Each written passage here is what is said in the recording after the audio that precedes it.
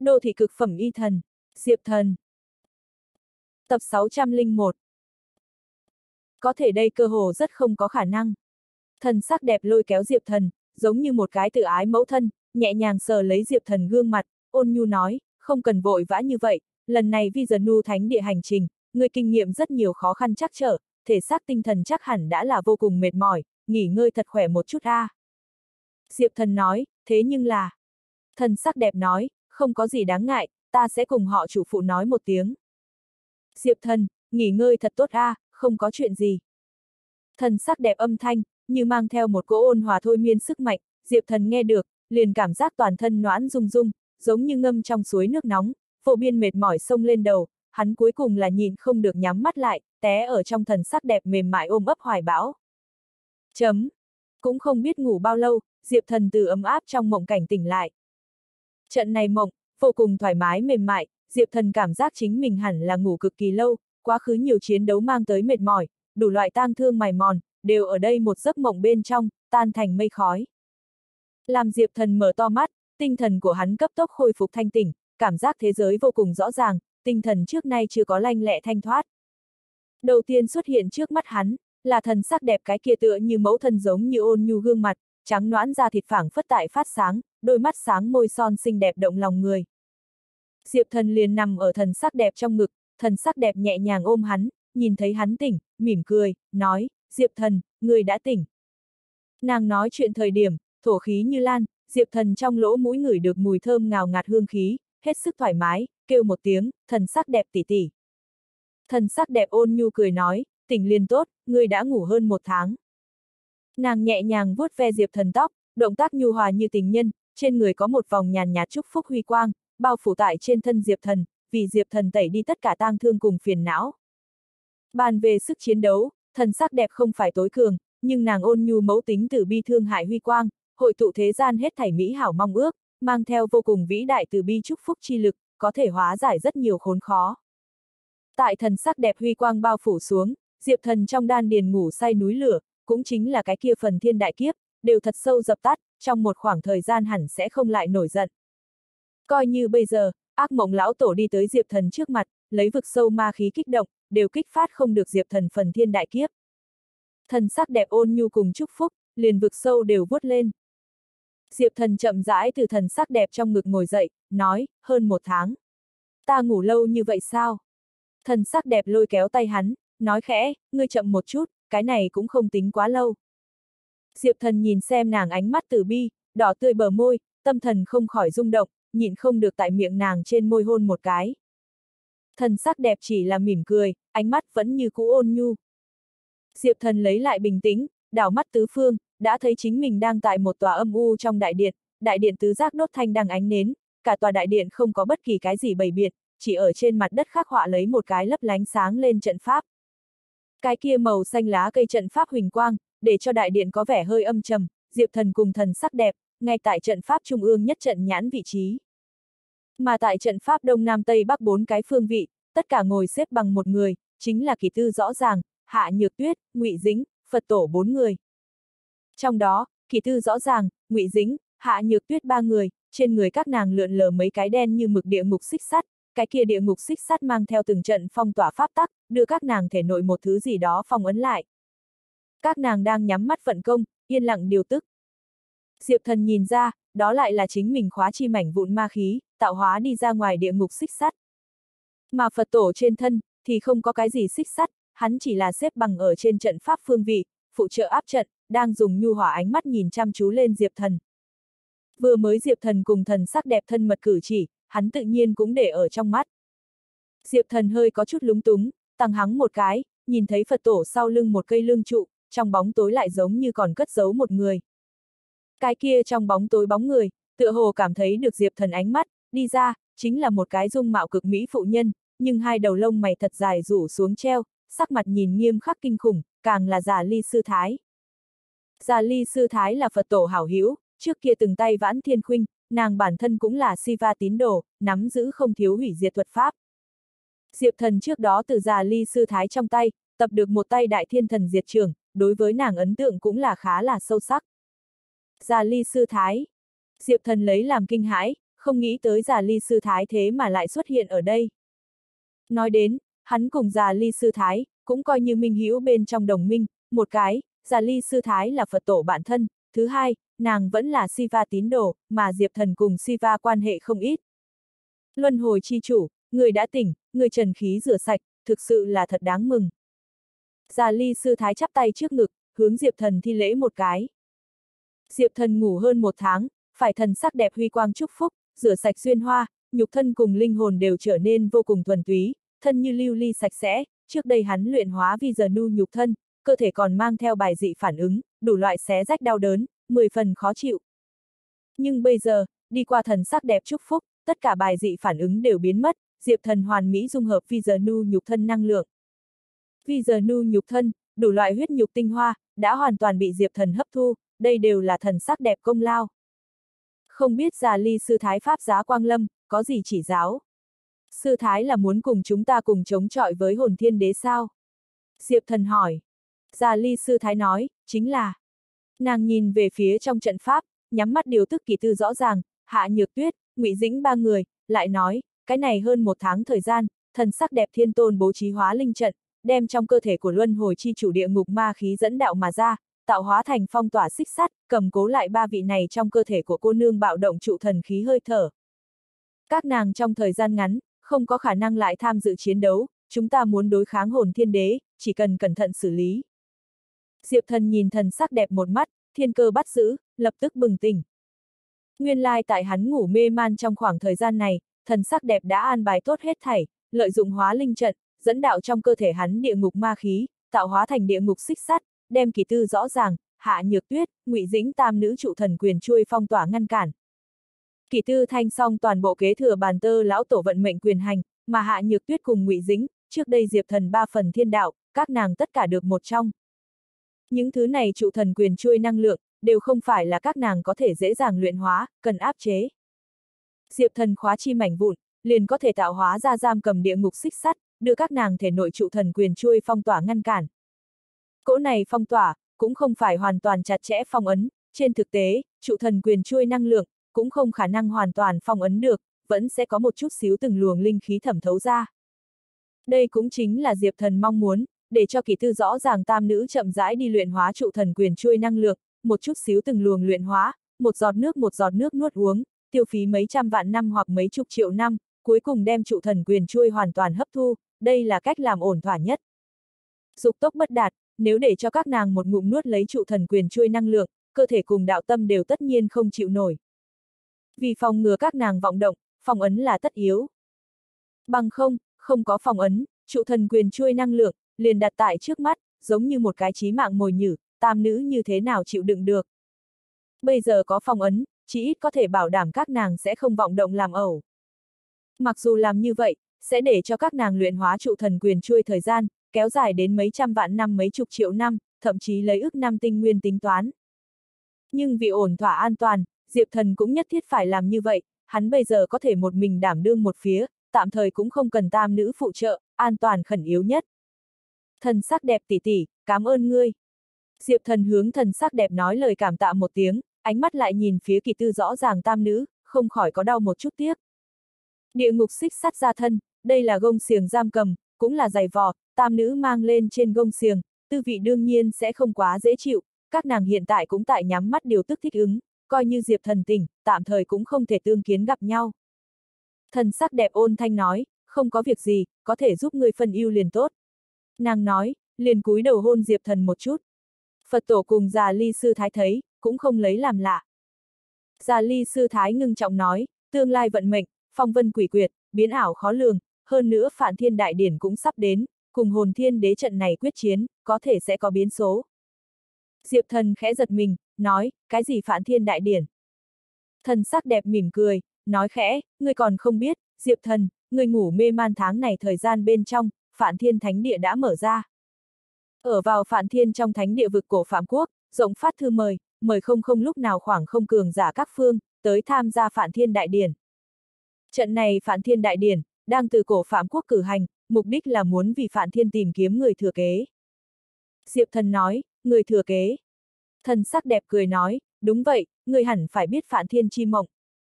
Chúng ta thế giới này, từ phản thiên trong mộng cảnh sinh ra, một khi phản thiên mộng tỉnh, thế giới có thể sẽ triệt để phá toái. Đây là một cái cực lớn tai họa ngầm, mà như thế nào giải quyết phản thiên chi mộng đâu, kỳ thực cũng không tính quá khó. Chỉ cần có thể tìm được người, ăn hết phản thiên, như vậy phản thiên chết, nhưng quyền hành của hắn không có tiêu thất, thế giới cũng sẽ không diệt vong. Diệp thần một hồi dùng mình, nói, ăn hết phản thiên. Thần sắc đẹp nói, đúng vậy, thật giống như ngươi ăn hết diêm ma tử thần, ăn hết phi giờ nu nhục thân một dạng, còn có ngươi trước đây ba phần thiên đạo, đem điệp mộng tinh quân thiên đạo quyền hành, cắt nhỏ thành ba phần, cái này cho cổ phạm quốc linh cảm. Bọn hắn cũng dự định, đem phản thiên quyền hành, cắt nhỏ thành ba phần, tìm kiếm ba cái thiên mệnh người tới kế thừa. Ba cái kia thiên mệnh người, chia ăn phản thiên huyết nhục, chia cắt phản thiên quyền hành, từ đó về sau, thế giới lại không phản thiên, nhưng phản thiên quyền hành còn tại, thế giới của chúng ta liền có thể vĩnh hằng sống còn tiếp. Diệp thần chỉ cảm thấy không thể tưởng tượng nổi, nói, phản thiên chi mộng, nguyên lai là dùng loại biện pháp này giải quyết sao. Phía trước hắn hỏi thăm qua thiên tổ, như thế nào giải quyết phản thiên chi mộng, thiên tổ nói rất đơn giản, nhưng cũng không có nói cụ thể biện pháp. Bây giờ thần sắc đẹp nói, cổ phạm quốc dự định cử hành phản thiên đại điển, tìm kiếm ba cái thiên mệnh người, chia ăn phản thiên quyền hành, như vậy phản thiên chết, nhưng quyền hành bất diệt, thế giới cũng bất diệt, phản thiên chi mộng tai họa ngầm liền giải quyết. Phản thiên đồng ý không? Diệp thần lại hỏi, chỉ ăn phản thiên quyền hành, cái kia phản thiên liền phải chết. Thần sắc đẹp nói, đương nhiên đồng ý, chuyện này với hắn tới nói, là một loại giải quyết, tìm kiếm ba cái thiên mệnh truyền nhân, nói dễ nghe, trên thực tế cũng là tìm kiếm ba cái kẻ chết thay, kế thừa phản thiên quyền hành đồng thời, cũng muốn kế thừa phản thiên tất cả đau đớn, bao quát phần thiên đại kiếp. Trong lòng Diệp Thần run lên, đích xác, trụ thần quyền chui tuy có ngập trời năng lượng, nhưng sau lưng cũng là ngập trời đau đớn cùng kiếp nạn. Cái gọi là trụ thần chuyện người, trên thực tế cũng là trụ thần kẻ chết thay. Phản thiên có thể tìm tới kẻ chết thay, đương nhiên không có lý do cự tuyệt. Cái này phản thiên đại điển, vẫn là phản thiên tự quyết định cử hành. Thần sắc đẹp giải thích nói. Diệp thần nói, ba cái kia thiên mệnh người, là muốn tại trong đại điển quyết định. Thần sắc đẹp nói, có lẽ vậy, cổ phạm quốc cử hành phản thiên đại điển, đoán chừng sẽ thiết trí một chút thí luyện, có thể trong thực tập trổ hết tài năng giả, chính là bọn hắn muốn tìm kiếm thiên mệnh người. Căn cứ vào tình báo của chúng ta, hồn thiên đế sẽ đích thân tham gia trận này đại điển. Diệp thần chấn động, nói, hồn thiên đế tự mình tham gia sao? Thần sắc đẹp nói, đúng vậy, hồn thiên đế có 9 đại hồn khí, nghe nói tối cường một kiện hồn khí, cũng tại phản thiên thánh địa trong, hắn sẽ đi tìm về, tiếp đó cướp đoạt thiên mệnh người tư cách, chia cắt phản thiên quyền hành. Lấy thực lực cùng thân phận của hắn, tự mình tham gia, ngày đó sai người ba cái ghế, hắn tất nhiên có thể cầm tới một chỗ ngồi. Diệp thần nói, hồn thiên đế lại muốn tự mình tham gia đại điển, đây là ta không có nghĩ tới, thần sắc đẹp tỉ tỉ, vậy chúng ta ứng đối ra sao? Thần sắc đẹp nở nụ cười, nói, hồn thiên đế vạn kim chi khu, không tỏa chấn sơn môn, lại chạy tới tham gia phản thiên đại điển, đây là cực hành động, mạo hiểm. Tại hắn rời đi hồn tộc lúc, ta cùng họ chủ phụ sẽ ra tay, cường công hồn tộc sơn môn, ha ha, đến lúc đó, hắn coi như cầm tới một phần phản thiên quyền hành, nhưng sơn môn phá toái, cũng là lợi bất cập hại. Diệp thần nặng nhiên nói, hồn thiên đế chắc chắn cũng biết ngờ tới điểm này, hắn tất nhiên có hậu thủ. Hơn nữa cái này hậu chiêu rất có thể đánh vỡ bây giờ cục diện, thậm chí thực hiện nghịch chuyển.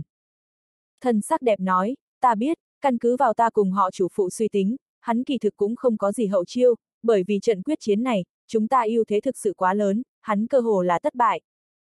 Hắn duy nhất có thể thay đổi chiến cuộc biện pháp, chính là đem hoàn chỉnh phản thiên quyền hành, toàn bộ cướp đoạt tới tay. Ta cùng họ chủ phụ suy tính, hồn thiên đế cái gọi là hậu chiêu, chính là cướp đoạt phản thiên quyền hành, thậm chí, hắn còn nghĩ hái sáng thế đạo quả.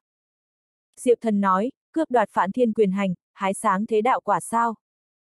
Thần sắc đẹp nói, đúng vậy, gia hỏa này kiếp nạn trước mắt, đã điên rồi, cổ phạm quốc đem phản thiên quyền hành cắt nhỏ thành ba phần, nếu như hắn chỉ là nhận được một phần trong đó, không đủ để thay đổi chiến cuộc. Nhưng, nếu như ba phần toàn bộ nhận được, hắn trở thành mới phản thiên, kia thật là vô địch. Còn có cái kia sáng thế đạo quả, cũng rơi xuống trong tay hắn, càng là không thể tưởng tượng. Diệp thần do dự suy nghĩ, suy tính tương lai họa phúc, liền thấy hồn thiên đế giữ tợn vặn vẹo diện mục. Trước đây vì giờ nu thánh địa hành trình, Diệp thần thu hoạch rất nhiều, không chỉ là lấy được khóa chi mảnh vụn, còn luyện hóa vi giờ nu nhục thân, luân hồi trận doanh khí vận thêm một bước hừng hực mở rộng, từ nhìn bề ngoài, hồn thiên đế đã không có lật bàn khả năng. Duy nhất khả năng cơ hội lật bàn, chính là hắn kế thừa Phản Thiên tất cả quyền hành. Nhưng cổ Phạm Quốc kế hoạch, là đem Phản Thiên quyền hành cắt nhỏ thành ba phần, chủ yếu là sợ Phản Thiên uy năng quá mức minh mông, một cái kẻ chết thay không chịu nổi, nhất định phải chia cắt.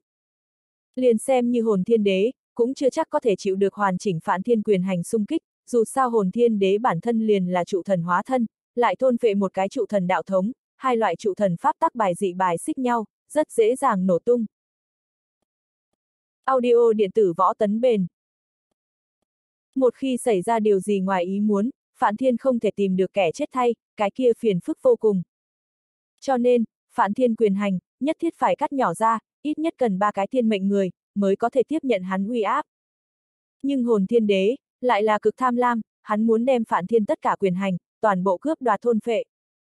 Điểm này, cổ Phạm Quốc đương nhiên sẽ không cho phép, nhưng hồn thiên đế có thể sẽ cưỡng ép cướp đoạt. Diệp thần nhìn thấy tương lai, đủ loại hung hiểm biến ảo, quả thực làm cho người kinh hãi. Già ly sư thái nói, lần này phản thiên đại điển, hồn thiên đế rất có thể muốn nghịch thiên cải mệnh, cẩn thận chạy được vạn năm thuyền, chúng ta chỉ cần cẩn thận xử lý, sớm ứng biến. Liền từ ta tới câu thông Siva lão tổ, chỉ cần có Siva lão tổ che chở, chúng ta liền có thể mọi việc đều thuận lợi. Diệp thần kinh ngạc nói, sư thái, người có câu thông Siva biện pháp. Siva đã mang theo nhậm phi phàm, phi thăng đi tinh không bỉ ngạn, bỉ ngạn mờ mịt, trước mắt Diệp thần cũng không cách nào câu thông. Nếu là già ly sư thái có câu thông pháp môn, vậy dĩ nhiên không thể tốt hơn nữa. Già ly sư thái nói, đúng vậy, ta có câu thông biện pháp, ta lần này đến đây, cũng chính là vì phụ trợ luân hồi chi chủ ngươi, câu thông Siva lão tổ. Ngươi là Siva lão tổ người hữu duyên, ngươi tuyệt đối không thể chết. Phản thiên đại điển sắp tới, hồn thiên đế rất có thể muốn nghịch thiên cải mệnh, diệp thần bên này tự nhiên không thể trơ mắt nhìn xem, khẳng định muốn đi qua tranh đấu. Một khi tranh đấu, xảy ra điều gì ngoài ý muốn, diệp thần liền có khả năng chết ở hồn thiên đế trong tay. Già ly sư thái tự nhiên không muốn nhìn thấy diệp thần vẫn lạc, nàng nghĩ xem như một cây cầu lương, vì diệp thần cùng Siva ở giữa, thiết lập câu thông liên lạc. Diệp thần hỏi, sư thái có gì biện pháp câu thông Siva? Nghe vậy, già ly sư thái lại là trầm mặc, nàng lần này trầm mặc, bầu không khí đều trở nên có chút thê lương. Diệp thần ẩn ẩn đoán được già ly sư thái biện pháp, trong lòng đột nhiên nhảy một cái. Chỉ thấy già ly sư thái thở dài một tiếng, chắp tay trước ngực, ngước nhìn hướng đại điện mái vòm, trong mắt lộ ra vô cùng thành tín thần sắc, nhẹ giọng thì thầm. Siva lão tổ, ta dùng cái này thân là dẫn, huyết nhục làm tế, nguyện ngươi chiếu cố ban ân, hạ xuống chúc phúc. Hoa lạp, hoa lạp. Nói xong, giả ly sư thái toàn thân huyết nhục, lại là bốc cháy lên, hóa thành hừng hực kim quang, hỗn hợp có nàng thành tín tín ngưỡng chi lực, xông thẳng đại điện mái vòm.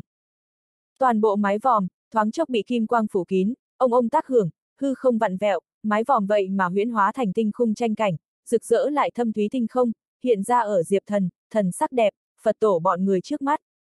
A-di-đà Phật. Phật tổ niệm tiếng niệm Phật, uyển chuyển thở dài, hắn rõ ràng sớm biết già ly sư thái kế hoạch, chính là muốn đốt hết huyết nhục, lấy thân là tế, câu thông tinh không. Bây giờ, trên khung đính tinh không, chính là bị ngạn tinh không, sao lốm đốm đầy trời, rực rỡ hoa lệ làm cho người khác lòng say. Diệp thần suy nghĩ xuất thần, đã thấy đến giả ly sư thái thân thể, đã hóa thành cho tàn. Nàng đốt hết huyết nhục, khai thiên lùi tránh, vì Diệp thần triển khai bỉ ngạn tinh không đồ cảnh. Chỉ thấy thâm thúy trong tinh không, từng vì sao, lại đột nhiên bạo liệt nát bấy, hóa thành ngàn vạn vẫn thạch lưu tinh bay thấp, khí tức hủy diệt quét ngang hết thảy, làm cho người rung động. Tại trong bàng bạc khí tức hủy diệt, ngàn vạn quang huy hội tụ, dần dần ngưng tụ ra một tôn vĩ ngạn vô song thân ảnh. Đó chính là Siva. Vô tận nhật nguyệt quang hoa, quanh quẩn tại Siva quanh thân, từng cái hủy diệt pháp tắc, như thác nước rủ xuống, không ngừng nở rộ hào quang. Hắn nhắm hai mắt, dựng thẳng trường bấm quyết, Diệp Thần cũng đã nghe được thanh âm của hắn. Luân hồi chi chủ. Siva kêu gọi Diệp Thần danh hào, tiếng như hồng lôi giống như, chấn động Diệp Thần tâm thần. Siva tiền bối. Diệp Thần liền vội vàng khom người hành lễ. Nghĩ không ra, chúng ta nhanh như vậy liền có thể gặp mặt. Trong tinh không, Siva Pháp tướng còn từ từ nhắm hai mắt, âm thanh không biết đến từ đâu, nhưng chữ chữ vô cùng rõ ràng truyền đến Diệp Thần trong tai. Diệp Thần nhìn già ly sư thái một mắt, cái sau đã hóa thành cho bụi, cũng chính là có già ly sư thái hy sinh, hắn mới có thể nhanh như vậy cùng Siva thiết lập liên lạc. Bằng không, không không lúc nào khoảng không cùng tinh không bị ngạn ngăn cách, muốn câu thông, cũng không phải cái gì chuyện dễ. Bằng không thì trước đây kiếm đạo minh liễu lạc thần liền có thể lập tức thông chi tinh không bị ngạn, hậu quả kia khó mà lường được. Bất quá Diệp thần ẩn ẩn cảm giác, liễu lạc thần sư tôn vân giật phong sẽ khai thác một chút hành động. Cũng không biết là phái người tới không không lúc nào khoảng không, vẫn là chờ chính mình đi tới tinh không bị ngạn. Bây giờ Siva lại tựa hồ như không thèm quan tâm giả ly sư thái sinh tử, hắn là hủy diệt chi thần, tự nhiên cũng không quan tâm tín đồ sinh tử, không giống vì giờ nu như vậy từ bi. Hắn cùng Diệp thần trung minh, là bởi vì song phương có tỉ mỉ lợi ích quan hệ. Điểm này, Diệp thần vô cùng rõ ràng. Chúng ta thiên nhân cách nhau, muốn liên lạc quả thực không dễ, dù sao quan hệ của ta và ngươi, xa xa không có cùng thiên tổ như vậy tỉ mỉ. Nói hưu nói vượn, ta đã biết tâm ý của ngươi. Siva cũng không có lời vô ích gì, nói ngay vào điểm chính, ngươi muốn cùng hồn thiên đế tranh đấu, cần ta chúc phúc, ta liền ban thưởng ngươi hủy diệt chúc phúc, cái này thiên trảm chiến phủ ngươi thu. Nói đi, Siva trên thân bay ra một đạo huy quang, hóa thành một đạo huyết sắc linh phù, rơi xuống trong tay Diệp Thần. Diệp Thần tay nắm chặt ở, ánh mắt lập tức sáng lên, từ đạo này huyết sắc linh phù bên trong, cảm nhận được một cỗ cường hãn bá đạo sát phạt sức mạnh hủy diệt. Đó là thiên trảm lực lượng hủy diệt. Tại trong Siva tất cả tuyệt học, thiên trảm có thể xếp tại thứ hai, gần với vẫn còn đang ảo tưởng trong trạng thái vô thượng diệt thế chân giải, liền xem như Diệp Thần, muốn thi triển thiên trảm, đều phải tiếp nhận cực lớn phản phệ, nhất định phải dùng hỗ tự quyết tới cân bằng triệt tiêu phản phệ sức mạnh. Bây giờ Siva ban thưởng huyết sắc linh phù, tên là thiên trảm chiến phù, đang ẩn chứa cuồng bạo thiên trảm hủy diệt sát phạt nhuệ khí, một khi tuôn ra, thiên trảm phong mang giết thiên chiếm đất, đơn giản vô địch. Diệp thần chính mình thi triển thiên trảm, tuyệt đối không có Siva tự mình thi triển lợi hại như vậy, cho nên đạo này thiên trảm chiến phù, ẩn chứa trong đó uy năng, vượt qua Diệp thần toàn lực bộc phát. Đa tạ Siva tiền bối. Diệp thần nhận được mạnh mẽ như vậy chúc phúc, nhất thời hưng phấn không thôi. Siva nói, ta đạo này thiên trảm chiến phù, ngươi lưu làm lá bài tẩy sau cùng, không nên tùy tiện sử dụng, bởi vì bùa này chính là ta tinh huyết chế tạo, một khi dùng xong, ta tinh huyết hao phí, cũng muốn trả giá không nhỏ đại giới. Vài ngày trước ta đã lấy thủ đoạn nghịch thiên, sửa chữa nhậm phi phàm tu vi, trợ hắn một bước lên trời, đăng lâm thiên đạo cảnh đỉnh phong, thi triển thủ đoạn như vậy, ta cũng là đã nhận lấy cực lớn phản phệ. Ta bây giờ tổn thương nguyên khí nặng nề, cái này thiên trảm chiến phù, người có thể không cần cũng không cần, cuối cùng có thể trả lại cho ta tốt nhất. Diệp thần nghe lời nói này, nội tâm cũng là chấn động. Nhậm tiền bối đã đăng lâm thiên đạo cảnh sao. Tinh không bỉ ngạn có sáu đại cảnh giới, nhật nguyệt, nhiên đăng, vực sâu, thần chiếu, đại thiên bất diệt, thiên đạo. Thiên đạo cảnh là cảnh giới cuối cùng, cũng là tột cùng nhất cảnh giới, tiến thêm một bước liền có thể phá thiên, phi thăng thế giới bên ngoài. Phía trước Siva liền hứa hẹn qua, chỉ cần nhậm phi phàm bồi tiếp hắn đi tinh không bị ngạn, hắn liền sẽ không tiếc bất cứ giá nào, chúc phúc nhậm phi phàm vô thượng chúc phúc, để cho hắn một bước lên trời. Trụ thần nắm giữ vô thượng vĩ lực, thậm chí có thể sửa chữa thực tế logic và số liệu, bọn hắn có thể sửa đá thành vàng, hóa một thành vạn, đem sâu kiến điểm hóa cả ngày long, cũng bất quá một ý niệm. Bất quá, loại này thủ đoạn nghịch thiên, ở trong thế giới thi triển, sẽ tiếp nhận cực kỳ to lớn đánh đổi, bởi vì sửa chữa số liệu, sẽ xúc động thế giới tầng dưới chót logic, rất có thể dẫn đến toàn bộ thế giới sụp đổ. Mà bởi vì có trụ thần khế ước tồn tại, một khi trụ thần xúc động thế giới căn cơ, rất có thể liền sẽ gặp khế ước thiên phạt. Siva ra tay, sửa chữa nhậm phi phàm tu vi, đã là xúc động thế giới căn cơ, hắn là bốc lên nguy hiểm cực lớn cùng đại giới. Siva nói, đúng vậy, bây giờ nhậm phi phàm, đã là tinh không bị ngạn đỉnh cấp cường giả, bất quá, ta đây là dục tốc bất đạt, hắn căn cơ vô cùng kém. Đương nhiên, căn cơ kém đi nữa, đó cũng là thiên đạo cảnh cường đại tồn tại. Lại nói, nhậm phi phàm cùng ngươi thật sự rất giống, tại tinh không bị ngạn có thể dày vò ra không ít chuyện tới, nếu không để thăng hắn thực lực, cũng là rất nguy hiểm. Đương nhiên, nhậm phi phàm thực lực tăng lên lớn nhất người được lợi ích, vẫn là ngươi. Dù sao hắn nói là ngươi người hộ đạo. Diệp thần gật gật đầu, dựa vào sửa chữa có được tu vi, cung cấp là làm bừa, tự thân không có trải qua trưởng thành, kinh nghiệm chiến đấu, thần thông đạo pháp, gân cốt căn cơ, mọi mặt đều 10 phần bạc nhược. Đương nhiên, loại này bạc nhược, là tương đương với cùng cảnh giới thiên đạo cảnh cường giả tới nói, đối thiên đạo cảnh trở xuống võ giả, vẫn như cũ có tuyệt đối áp chế lực. Siva lại nói, luân hồi chi chủ, nhậm phi phàm là muốn thủ hộ ngươi, cho nên mới vứt bỏ cước đạp thực địa con đường tu luyện, cưỡng ép một bước lên trời, chỉ vì tương lai ngươi sau khi phi thăng, hắn có thể trước tiên ban cho che chở, ngươi nên thật tốt cảm tạ hắn. Bất quá trước đây không lâu, một cái gọi huyền thanh đạo trưởng ra hỏa tới tìm hắn, ngược lại là cho hắn một đạo cơ duyên, nếu như nhậm phi phàm sau đó có thể thành công cầm tới cơ duyên kia, có lẽ căn cơ vấn để có thể giải quyết một phần nhỏ. Bất quá trong lúc này cũng tràn ngập phong hiểm. Trong lòng Diệp Thần tự nhiên là vô cùng cảm kích, đáp, cảm ơn tiền bối. Đến nỗi nhậm tiền bối, ta nhất định sẽ vĩnh viễn cảm tạ. Dừng một chút, hắn chấm dứt cắt hỏi, phía trước nhậm tiền bối thay ta đã nhận lấy vực sâu ký sinh, không biết hắn bây giờ tình huống như thế nào. Phía trước cùng hư thối lão tổ quyết chiến, Diệp Thần bị vực sâu ký sinh, sinh ra mủ đau nhức, cuối cùng tất cả ác độc, lại toàn bộ chuyển rời đến trên thân nhậm phi phàm, hắn cũng là hết sức lo nghĩ. Siva trầm mặc một chút, nói, cái này ngươi cũng không cần quản, trước lo cho trước mắt mình sự tình. Diệp thần gặp Siva không trả lời thẳng, trong lòng không khỏi run lên, nghĩ đến nhậm phi phàm tình huống, có thể không quá lạc quan. Siva lại nói, nhậm phi phàm cũng nghe đến thanh âm của ngươi, lần này ngươi đem cùng hồn thiên đế quyết chiến, hắn cũng biết ban thưởng ngươi chúc phúc. Hắn tiếng nói rơi xuống, một đường thật dài kình minh thanh, từ tinh không phía trên vang lên, chỉ thấy một đầu cự kình, mang theo điểm điểm tinh quang, bay xuống bên cạnh Diệp Thần, còn cuốn hắn chuyển động. Đầu này cự kình, lại dẫn một tầng khí huyết ba động, Diệp Thần một mắt liền nhận ra, đó là nhậm phi phàm máu tươi. Siva nói, nhậm phi phàm trước mắt đang bế quan, hắn thiên đạo căn cơ bản 10 phần bất ổn, nhưng dù cho như thế, hắn vẫn là cắt lấy một khối huyết nhục, đúc thành này kình, nói là có thể giúp được ngươi. Đầu này cự kình, mang theo bàng bạc khí huyết chi lực, Diệp Thần từ trong đó cảm nhận được nhậm phi phàm che chở cùng chúc phúc, trong lòng lại là một hồi cảm kích, nói. Siva tiền bối, người thay ta cảm ơn nhậm tiền bối. Cuối cùng cũng có một ngày, ta sẽ đi tinh không bị ngạn, cùng hắn đoàn tụ. Tay khẽ vẫy, đem cự kình thu vào thể nội. Siva nói, ngươi còn có kiếp số chưa hết, hồn thiên đế, ma phi thiên, xấu thần, cũng là muốn mạng tồn tại, hơn nữa còn có một hồi có thể xưng tận thế quy khư đại kiếp. Ngươi chỉ cần giải quyết đủ loại này kiếp số, mới có thể phi thăng. Ta cùng nhậm phi phàm, sẽ ở tinh không phía trên cho ngươi chúc phúc, nhưng chúng ta chúc phúc, chỉ là bên ngoài phụ trợ, có thể hay không độ kiếp, còn phải xem chính ngươi tạo hóa. Diệp thần nói, ta biết. Siva ừ một tiếng, không nói nữa, vĩ đại pháp tướng dần dần ẩn độn tại sâu trong tinh không, đại điện trên mái vòm tinh không huyễn cảnh, cũng chậm rãi biến mất, hết thảy khôi phục lại bình tĩnh.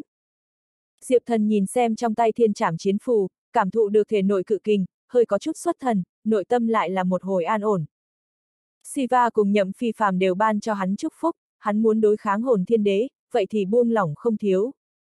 Cũng không biết bây giờ nhậm tiền bối đến tột cùng như thế nào, hy vọng bế quan kết thúc, huyền thanh đạo trưởng cơ duyên cho trợ giúp hắn mấy phần. Nhắc lên huyền thanh đạo trưởng, Diệp thần lại không khỏi cảm thụ phía dưới đạt đến nhi tình huống. Hoàn Mỹ xem như diêm phù tinh thạch, tại tinh không bị ngạn cũng là cực kỳ trọng yếu, thậm chí trụ thần cũng muốn tranh thủ, đáng tiếc dưới mắt nàng mấu chốt nhất là tu luyện vạn cổ thạch thần pháp. Diệp thần hơi hơi cảm thụ phía dưới, phát hiện hoàn mỹ tựa hồ ở vào một loại nào đó bế quan trạng thái. Chẳng lẽ đạt đến nhi có hy vọng xung kích vạn cổ thạch thần pháp tầng thứ 9? Một khi hoàn thành, chỉ sợ hoàn mỹ trên thân nhiều bí mật hơn phải xuất hiện.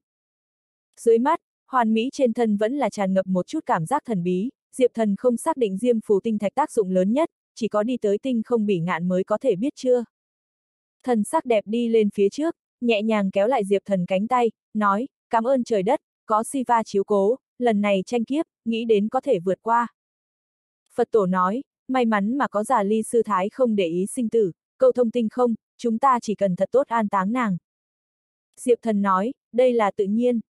Phật tổ liệm già ly sư thái cho cốt, chuẩn bị an táng. Thần sắc đẹp nói, Diệp thần, ta dẫn người đi gặp họ chủ phụ. Diệp thần nhìn xem đại điện trong trận pháp, hạ nhược tuyết, ngụy dính, kỳ tư rõ ràng tam nữ, còn tại nhắm mắt điều tức, trong lòng của hắn lo lắng, nói, vậy các nàng. Thần sắc đẹp lắc lắc đầu nói, các nàng đều kế thừa trụ thần quyền hành, bây giờ lại bị ngươi địa ngục xích sắt ra thân, cần thời gian thích ứng. Ngươi không cần quá lo lắng, nhiều nhất một cái nữa nguyệt, các nàng thích ứng địa ngục pháp tắc, liền có thể tỉnh lại. Diệp thần cảm thấy hơi định, nói, vậy là tốt rồi. Đột nhiên, hắn đã nghĩ tới cái gì, lại hỏi, cái kia phản thiên đại điển cử hành thời gian là. Thần sắc đẹp nói, sau khi hơn nửa tháng, đi thôi, chúng ta đi cùng họ chủ phụ thương lượng một chút. Nàng kéo Diệp thần cánh tay, hai người cùng nhau đi tới địa cung chỗ sâu. Chấm. Cùng lúc đó, tinh không bỉ ngạn, một tòa khắc đầy cổ lão văn tự cùng đồ án thần bí cung. Địa cung bên trong, cái kia lần lượt từng thân ảnh, phảng phất nói tuyên cổ truyền thuyết. Nếu như Diệp Thần ở đây, tất nhiên sẽ phát hiện, hình tượng này là Siva. Mà địa cung chỗ sâu nhất một cái trong linh tuyển ương, một cái cái chán hiện lên huyết nguyệt cùng kình ảnh nam tử đang ngồi xếp bằng. Khí tức của hắn càng thêm cường đại, phảng phất một ý niệm cũng đủ để phá hủy toàn bộ địa cung. Đột nhiên, nam tử mở mắt ra, một đạo tinh hồng chi quang bắn ra, cái kia linh tuyền trong nháy mắt cuồn cuộn, phảng phất không thể chịu đựng một loại nào đó ý chí. Phía sau hắn càng là nổi lên rất nhiều cường đại hư ảnh. Hư ảnh này bên trong một đạo nếu là buông xuống đến không không lúc nào khoảng không, chỉ sợ đều có thể giúp Diệp Thần phá cục. Diệp Thần, ta có thể cảm giác được ta tràn đầy sức mạnh xưa nay chưa từng có, lực lượng này cảm giác, phảng phất nói cho ta biết, ta có thể khiêu chiến trụ thần sắp đặt. Mấy ngày nay, Siva hỏi ta hối hận không? Câu trả lời của ta chưa từng có biến qua, xem như người người hộ đạo, ta vĩnh viễn không hối hận. Bất quá Siva cưỡng ép đề thăng, đối ta tương lai tới nói, cũng không có lợi, ta nhất thiết phải làm tối hoàn toàn chuẩn bị. Huyền Thanh đạo trưởng nói đạo kia cơ duyên, thật có thể thay đổi ta căn cơ. Dù là chỉ có một chút, ta cũng đủ hài lòng. Chấm. Diệp thần tự nhiên không biết cái này tinh không bị ngạn hình ảnh, hắn giờ phút này gặp được Nguyên Thiên Đế cùng Vũ Tổ. Nguyên Thiên Đế cùng Vũ Tổ tất cả ngồi xếp bằng, cái trước lấy máu tươi rèn luyện sinh tử phong thần bi, cái sau thì tại điều tức khôi phục nguyên khí. Họ chủ phụ, ta tới. Thần sắc đẹp mang theo Diệp thần đến, Nguyên Thiên Đế cùng Vũ Tổ cảm nhận được hai người khí tức, đều mở mắt. Ha ha, Diệp thần, ngươi cuối cùng tỉnh. ngươi nếu là lại không tỉnh, chúng ta cần phải gấp gáp rồi. Vũ Tổ nhìn thấy Diệp thần tinh thần sung mãn bộ dáng, hết sức vui mừng, đứng dậy hướng thần sắc đẹp đạo, thần sắc đẹp thiên tôn, đa tạ ngươi chiếu cố Diệp thần. Thần sắc đẹp cười nói, phải. Ánh mắt nàng ôn nhu nhìn qua Diệp thần. Thần sắc đẹp đi là hoàn mỹ chi đạo, hoàn bích chi thân cũng không phải hoàn mỹ, âm dương hòa giải, sinh sôi không ngừng, mới thật sự là hoàn mỹ. Diệp thần chính là thần sắc đẹp một nửa khác, mấy người hai người tương lai kết hợp, liền có thể chứng được chân chính hoàn mỹ chi đạo. Diệp thần nhìn về phía vũ tổ, trong mắt mang theo vẻ áy náy, nói, xin lỗi, vũ tổ sư tôn, người mong muốn vì giờ nu hải cốt, ta đã. Vũ tổ không câu chấp khoát khoát tay, nói, không sao, cái kia hải cốt, người luyện hóa tốt hơn, ha ha, trụ thần hải cốt a, năng lượng sôi trào, ta bộ dạng này lão cốt đầu, cũng không biết chịu hay không chịu được, bây giờ ngươi tới kế thừa luyện hóa, vậy dĩ nhiên không thể tốt hơn nữa. Chỉ là, thực sự là khổ ngươi, lại tiếp nhận nhiều một phần phần thiên đại kiếp. Diệp thần nói, sư tôn, ta còn có vi giờ nu đầu người, có thể giao cho ngươi luyện hóa, giúp ngươi cấp tốc khôi phục nhục thân. Nói, Diệp thần liền lấy ra một cái hộp, đó chính là ác mộng lão tổ cho hắn hộp, phía trên hiện đầy phong ấn phù văn cùng phù liên, bên trong liền phong tổn lấy vi giờ nu đầu người.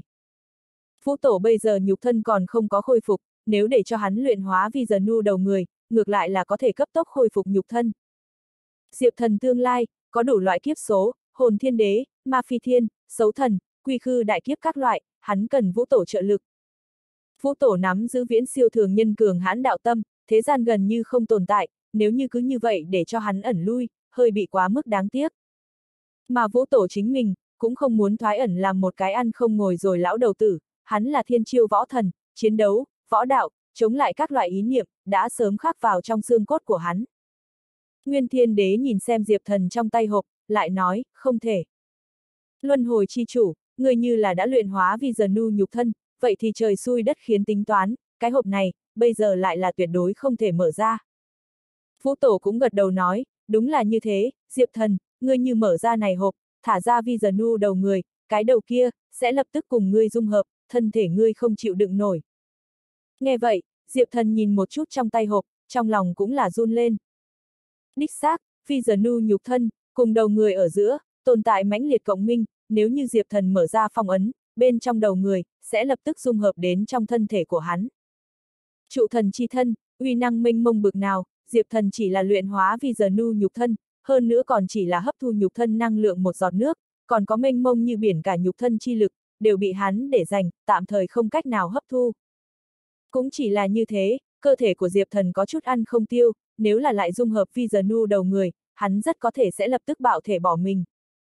Cùng cái khác trụ thần khác biệt, Vi giờ nu thân là thủ hộ chi thần, nhục thể của hắn hoàn mỹ mà cương mãnh, tràn ngập vô thượng vĩ lực, lấy Diệp Thần trước mắt nửa bước thiên đế tu vi, cũng chỉ có thể miễn cưỡng hấp thu vi giờ nu nhục thân một tia năng lượng, trong hộp đầu người, hắn là vạn vạn không ăn hết. Diệp Thần kế hoạch, là cho vũ tổ luyện hóa, nhưng lại không làm được. Bởi vì, cái đầu kia, một khi phá vỡ phong ấn đi ra, sẽ lập tức dung hợp đến trong thân thể của hắn, căn bản không có khả năng chuyển rời đến trên thân vũ tổ. Cái này có thể phiền toái. Diệp thần nhất thời cảm thấy vô cùng khó giải quyết. Vũ tổ nói, người giữ đi, Diệp thần, bây giờ ngươi còn không thể hoàn toàn luyện hóa vì giờ nu nhục thân cùng đầu người, nhưng chờ ngươi phi thăng tinh không bỉ ngạn, nhất định có thể. Diệp thần nói, sự tôn, vậy ngươi cơ thể. Bây giờ vũ tổ, chỉ là linh hồn phục sinh, không có nhục thân, cũng không phát huy ra bao nhiêu sức chiến đấu. Thậm chí, hắn không cách nào thoát ly sinh tử phong thần bi chiếu sáng phạm vi, nếu không sẽ lập tức hồn phi phách tán.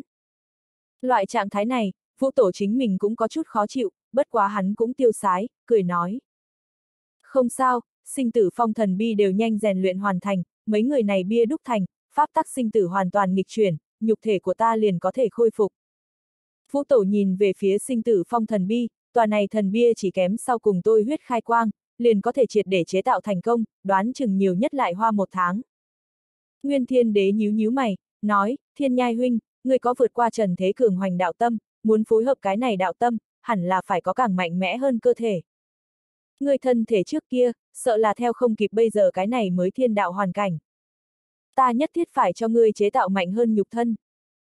Do dự suy nghĩ, Nguyên Thiên Đế ánh mắt chuyển động, đạo, phản thiên đại điển sắp tới, hồn thiên đế quyết ý tự mình đi tham gia, vậy hắn hồn tộc Sơn Môn, tất nhiên sẽ trống rỗng. Ha ha, đến lúc đó, ta tự mình ra tay, giết tới hồn tộc Sơn Môn, đem hồn thiên đế đồ tử đồ tôn đều giết hết, dùng chục triệu người huyết nhục, còn có ngàn vạn long tộc huyết nhục, thay người đúc lại một bộ nghịch thiên cường hoành nhục thân. Nghe được Nguyên Thiên Đế lời nói, Diệp Thần cùng Vũ Tổ đều là chấn kinh. Giết sạch hồn tộc người, dùng hồn tộc chục triệu người huyết nhục, còn có long xào hồn tộc bên trong nuôi dưỡng ngàn vạn long tộc huyết nhục, đến cho vũ tổ chế tạo nhục thân, đây quả thực là điên cuồng. Mà trong mắt nguyên thiên đế, tràn đầy sắc bén phong mang, sát phạt xâm nghiêm, hắn là muốn lôi kéo vũ tổ, vũ tổ đạo tâm cường hoành, cho hắn phối hợp một bộ đầy đủ đỉnh cấp nhục thân, hắn có thể trở thành cường đại giúp đỡ cùng minh hữu.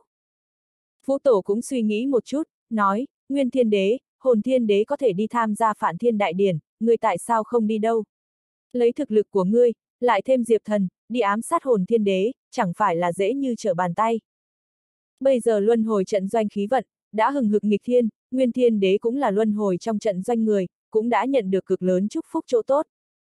Nếu là hắn ra tay, cùng diệp thần phối hợp, muốn giết hồn thiên đế quả thực là 10 phần chắc chín. Phải biết, tại hồn tộc trong sơn môn, hồn thiên đế chiếm cứ lấy thiên thời địa lợi, cái kia diệp thần bên này có thể còn có cố kỵ.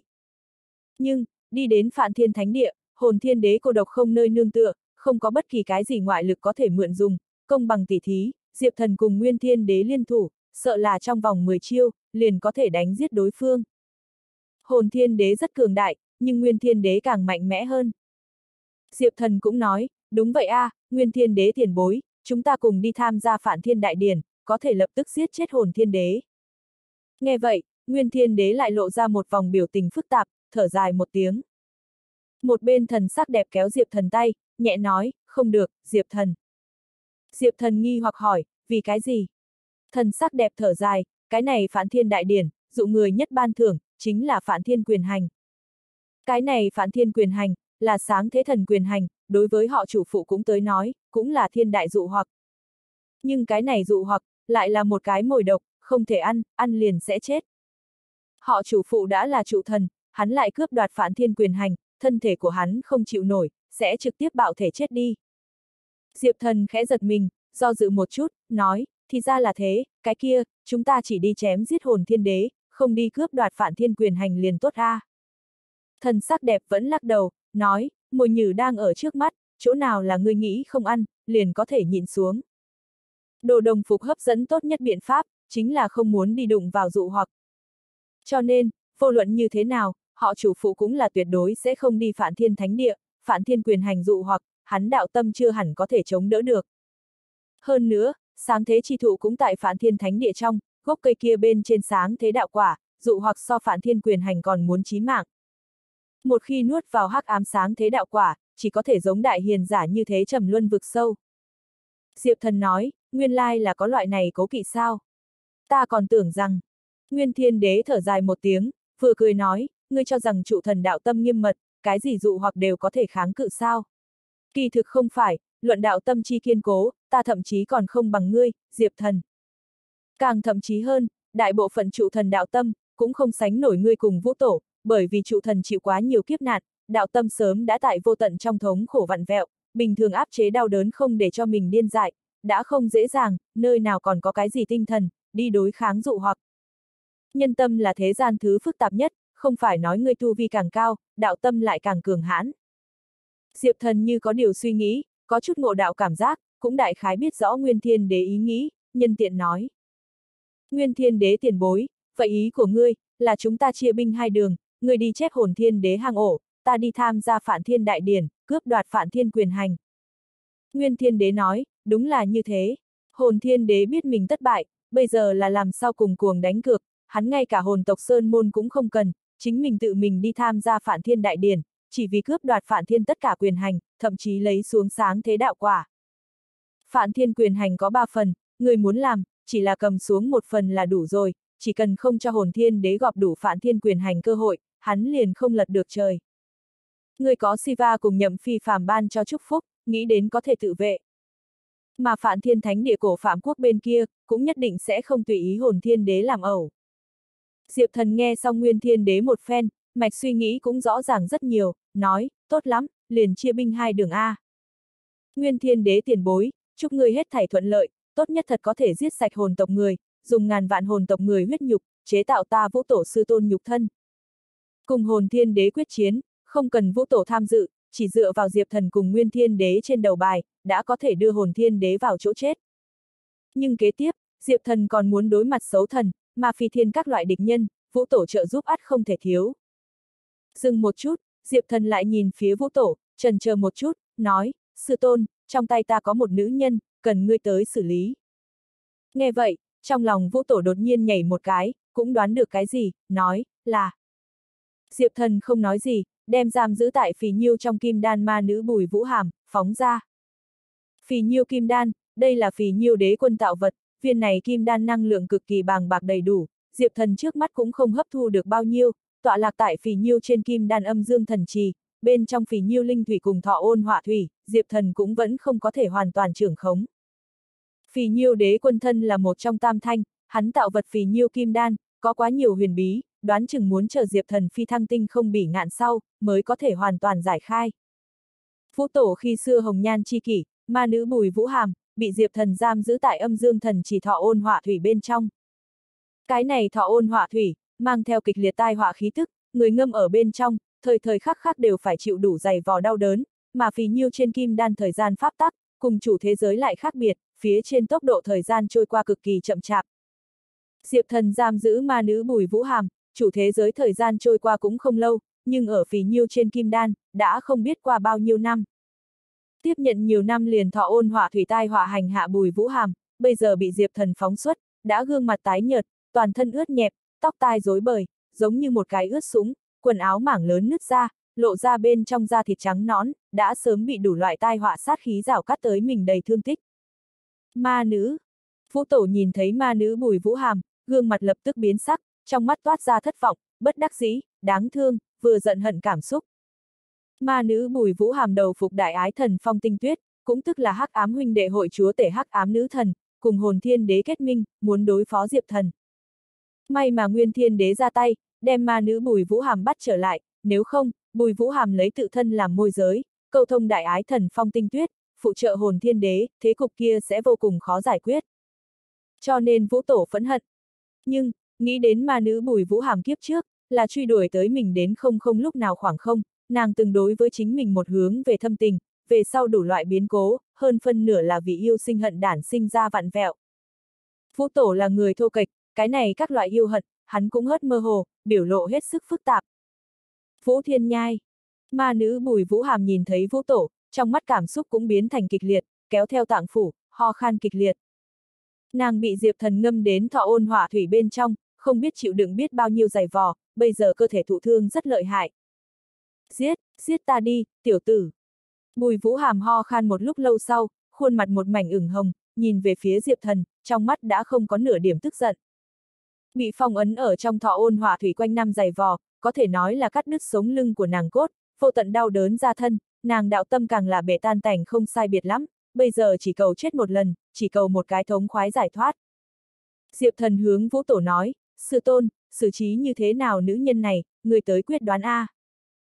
Vũ tổ biểu lộ vẫn như cũ phức tạp, trầm mặc suy tư thật lâu, cuối cùng thở dài một tiếng, nói, ma nữ, ta không giết ngươi. Ta muốn cứu chuộc tội nghiệt của ngươi. Mang theo ngươi, cùng đi chuộc tội. Ma nữ bùi vũ hàm ngẩn ngơ, nói, Vũ Thiên Nhai, ngươi có ý tứ gì? Vũ Tổ không nói gì, chỉ là bước đi lên tiến đến, bàn tay nhẹ nhàng đặt tại ma nữ bùi vũ hàm trên đỉnh đầu. Chỉ một thoáng, bùi vũ hàm liền cảm giác Vũ Tổ bàn tay, tựa như một cái lỗ xoáy đen, đang điên cuồng thôn phệ chính mình huyết nhục, thậm chí linh hồn, nàng run rẩy một hồi, nói. Vũ Thiên Nhai, ngươi muốn làm gì? Muốn luyện hóa ta? Vũ Tổ vẫn như cũ trầm mặc, đại thủ hút một cái, một cỗ cường hoành thôn phệ chi lực truyền ra, bùi vũ hàm hóa thành một đạo huyết quang, đều bị hắn thôn phệ hấp thu hầu như không còn. Hoa lạp, thôn phệ bùi vũ hàm, vũ tổ nhận được đại lượng huyết nhục tinh hoa bổ dưỡng, thân thể nở rộ kim quang, thế mà khôi phục nhục thân. Bùi vũ hàm nhục thân, trở thành vũ tổ huyết nhục. Thấy cảnh này, Diệp thần, Nguyên Thiên Đế, thần sắc đẹp đều là một hồi kinh ngạc, nhưng cũng coi như lý giải. Đây có lẽ là phương thức xử lý tốt nhất, dung hợp lẫn nhau. Nguyên Thiên Đế nói, Thiên Nhai huynh, ngươi, ngươi vậy mà luyện hóa ma nữ. Cái này ma nữ là hắc ám nữ thần người đại diện, nàng tinh thần tràn ngập cực đoan hắc ám oán hận tiêu cực đồ vật, tựa như là vực sâu một dạng tồn tại, ngươi luyện hóa nàng, chính mình cũng muốn tiếp nhận cực lớn nghiệt chướng, chẳng bằng đem nàng giết. Vũ tổ ngũ quan cũng hơi hơi bóp méo một chút, rõ ràng ma nữ bùi vũ hàm tinh thần nghiệt chướng, cũng mang cho hắn sự đả kích không nhỏ, hắn nói. Ta biết, nhưng, ta muốn cứu chuộc nàng. Ta cũng không có luyện hóa nàng, chỉ là dung hợp, cùng nàng hợp làm một thể thôi, linh hồn của nàng, còn tại trong lòng ta. Nguyên thiên đế biểu lộ phức tạp, nói, cái này. Thực sự là, ta khó mà nói. Nếu như là ta mà nói, cái này ma nữ đã chết 800 lần. Phú tổ cười khổ một tiếng, lại nắm quyền một cái, trong mắt dần dần cởi ra nhi nữ tình trường dây dưa, chỉ còn lại chiến đấu phong mang cùng ý niệm, nói. Bất kể như thế nào, ta nhục thân xem như sơ bộ khôi phục, mặc dù không đủ mạnh mẽ, nhưng ít ra có thể sử dụng. Chém giết hồn tộc người, dùng bọn hắn huyết nhục, tới cường hóa thân thể của ta, ta tự mình động thủ đi. Cũng là thời điểm linh hoạt linh hoạt gân cốt.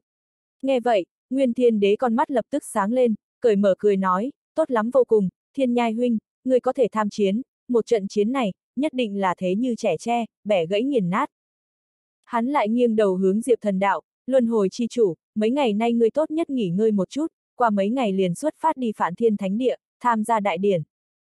Mặc dù đại điển cụ thể cử hành thời gian, muốn tại hơn nửa tháng sau, nhưng sớm đi Phản Thiên Thánh Địa bên kia, cũng có thể chuẩn bị sẵn sàng, lấy sách tiên cơ. Diệp thần nói, hảo, vậy ta qua mấy ngày liền xuất phát. Hắn lại nhìn phía vũ tổ, lo lắng hỏi, sư tôn, ngươi. Thật sự không có chuyện gì sao? Vũ tổ dung hợp bùi vũ hàm huyết nhục, cũng dẫn đến bùi vũ hàm tinh thần nghiệt chướng, đủ loại oán niệm, đều cùng nhau dung hợp, Diệp thần cũng sợ vũ tổ gặp cái gì phản phệ. Vũ tổ cười mở cười nói, không sao, ta rất khỏe, đạo tâm của ta thế nhưng là vũ tổ đạo tâm, người rõ ràng nhất, Diệp thần, không cần phải để ý đến ta. Chúng ta chia binh hai đường, người đi phản thiên thánh địa, ta cùng nguyên thiên đế trực đảo Hoàng Long, chép hồn thiên đế hang ổ. Không còn hồn thiên đế tọa chấn che chở, hồn tộc Sơn Môn coi như phòng thủ lại xâm nghiêm, cũng không khả năng ngăn cản được nguyên thiên đế, vũ tổ đám người xung kích. Chân chính nguy hiểm, không tại hồn tộc Sơn Môn bên kia, mà tại Diệp Thần bên này. Một khi Diệp Thần thua ở hồn thiên đế thủ hạ, hoặc bị hồn thiên đế tập hợp đủ phản thiên quyền hành, hậu quả khó mà lường được. Hảo, chia binh hai đường. Diệp Thần trọng trọng gật đầu.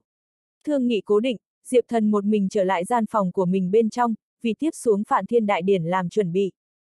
Toàn bộ luân hồi thánh địa cũng bắt đầu công việc lưu bù lên, chân lý sẽ, mộ cung, mỹ thần cung, còn có diệp thần luân hồi bản trận, từ trên xuống dưới võ giả đều xuất động, tập kết chuẩn bị chiến đấu. Liền xem như một chút ngay cả thần đạo cảnh cũng không có bước vào phổ thông đệ tử, cũng xuất động, bọn hắn bản thân sức chiến đấu mặc dù không cao, nhưng lại có thể cung cấp tín ngưỡng sức mạnh, cũng là một phần trợ lực. Dựa vào trận pháp đặc biệt, còn có thể đem ngàn vạn người yếu sức mạnh tập hợp, lệnh tia nước nhỏ hóa thành hồng triều. Kỳ tư rõ ràng, Hạ Nhược Tuyết, Ngụy Dĩnh đang bế quan, thân độ Uyển Nhi, Diệp Lạc Nhi, Võ Giao, còn có khi xưa thủy thần Lạc Thanh Ly, lôi thần ân tố chân các loại, đều chuẩn bị tham chiến.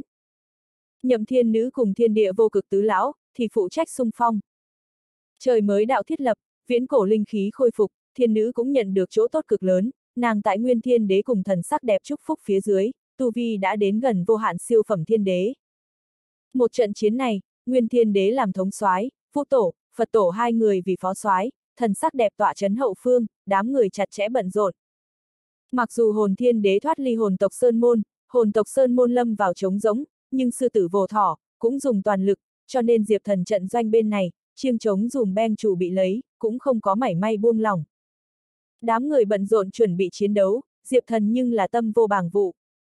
Hắn phải chuẩn bị một cuộc chiến đấu khác. Cùng hồn thiên đế bản nhân chiến đấu.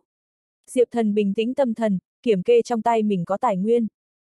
Đầu tiên, có giá trị nhất tài nguyên, tự nhiên là Nam Hoa lão quân ban cho hắn mây cháp 7 ký, cái này mây cháp 7 ký, hắn chỉ dùng qua một lần, còn thừa lại 6 chi. Sử dụng mây cháp 7 ký, có thể kích hoạt đồng thời mượn dùng mới thiên đạo sức mạnh, tại cỗ lực lượng kia trợ lực phía dưới, coi như đối mặt hồn thiên đế, diệp thần đều có dũng khí chống cự. Chỉ có điều, sử dụng mây cháp bảy ký, đạo tâm sẽ dao động, sẽ phải chịu nam hoa lão quân ý chí sung kích, thậm chí ăn mòn, tinh thần lay động phía dưới, diệp thần thậm chí có thể sẽ quy y nam hoa lão quân. Hắn muốn đi chính mình đạo, tự nhiên không có khả năng quy y bất luận kẻ nào. Cho nên, cái này mây cháp bảy ký, không đến vạn bất đắc dĩ, Diệp Thần sẽ không sử dụng. Phía trước phi giờ nu thánh địa hành trình, Diệp Thần tao ngộ rất nhiều hung hiểm, đều không dùng qua mây cháp bảy ký. Ngoại trừ mây cháp bảy ký, Diệp Thần trong tay còn có rất nhiều tài nguyên, tỉ như phỉ nhiêu đế quân lưu cho hắn phỉ nhiêu kim đan, ngày xưa sụp đổ chi chủ lưu lại một chút vĩ đại kỳ quan, đấu chiến thần chiến thần thủ sáo các loại. Còn có hạc huyên độc tuyền, hắn sau khi uống xong, cũng không có tiêu hóa, toàn bộ trấn áp lắng động ở đan điền chỗ sâu. Cái này hắc huyên độc tuyền năng lượng, bạo phát đi ra, uy năng đem là nghịch thiên một dạng kinh khủng. Bất quá Diệp Thần rất cẩn thận, cũng không có dễ dàng vận dụng. Diệp Thần còn không có bước vào thiên đế cảnh phía trước, vận dụng hắc huyên độc tuyền năng lượng, hắn rất có thể lọt vào phản phệ, thậm chí có thể sẽ chịu đến ác mộng lão tổ khống chế tinh thần. Tuy nói bây giờ Diệp Thần, đã là nửa bước thiên đế cảnh cường giả, thoáng vận dụng hắc huyên độc tuyền năng lượng, hẳn sẽ không chịu đến quá lớn phản phệ, nhưng hắn vẫn là vô cùng cẩn thận, nếu không phải tình bất đắc dĩ, hắn cũng sẽ không tùy tiện vận dụng. Sau đó là thần thông đạo pháp phương diện, Diệp Thần nắm giữ tử thần quyền hành, không hề nghi ngờ là tối cường, luyện hóa vi giờ nu nhục thân sau, hắn kế thừa đủ loại thạch tâm thủ hộ pháp môn, cũng là phi thường cường đại. Bất quá vi giờ nu đạo pháp, chủ bảo vệ, cũng không phải là công sát, Diệp Thần chiến đấu lực sát thương cũng không có để thăng bao nhiêu, nhưng năng lực phòng ngự tăng lên rất nhiều, tổng hợp sức chiến đấu tự nhiên là nước lên thì thuyền lên. Còn có ác mộng lão tổ các loại ảo mộng thuật pháp, phối hợp Diệp Thần trước kia huyễn thuật đồng thuật sử dụng, vào lúc tối trọng yếu cũng có thể phát huy ra cường đại hiệu quả. Đến nỗi thiên tổ luân hồi pháp, luân hồi mộ táng công, Diệp Thần đã dừng lại ở tầng thứ ba rất lâu, trước mắt còn không có nhìn thấy đột phá hy vọng. Loại này cấp bậc công pháp, muốn đột phá, tự nhiên không dễ dàng, may mắn lấy luân hồi mộ táng công uy năng, coi như chỉ là tầng thứ ba cũng đủ dùng rồi. Cuối cùng là chúc phúc phương diện, Siva cho hắn thiên trảm chiến phù, không hề nghi ngờ là áp đáy hòm bảo mệnh át chủ bài, bạo phát đi ra uy thế nhất định là kinh thiên động địa. Nhậm tiền bối cũng cho ta chúc phúc, đầu này cự kinh, ngược lại là có thể dùng để chế tạo thanh liên phân thân. Diệp thần nhìn xem phiêu phù ở luân hồi trong mộ địa cự kinh, trong lòng khẽ nhúc nhích. Hắn nắm giữ lấy thanh liên đúc thánh pháp, có thể chế tạo thanh liên phân thân, làm một thế thân, tại đụng tới tử vong thời điểm nguy hiểm, có thể dùng thanh liên phân thân tới chết thay. Nhưng, Diệp thần Tu Vi, đã tấn thăng đến nửa bước thiên đế cảnh giới, hắn muốn chế tạo ra một cái cùng mình thực lực tương cận phân thân, tự nhiên là vô cùng gian khổ. Mà nhậm phi phàm đầu này cự kình, chính là nhậm phi phàm bản nhân một tia huyết nhục tạo hóa mà thành, đủ năng lượng dồi dào, phải dùng tới chế tạo thanh liên phân thân, cũng là có thể thực hiện. Nghĩ như vậy, Diệp thần lập tức động thủ, thi triển thanh liên đúc thánh pháp, một tia thần quang, bao phủ tại nhậm phi phàm đầu kia cự kình trên thân.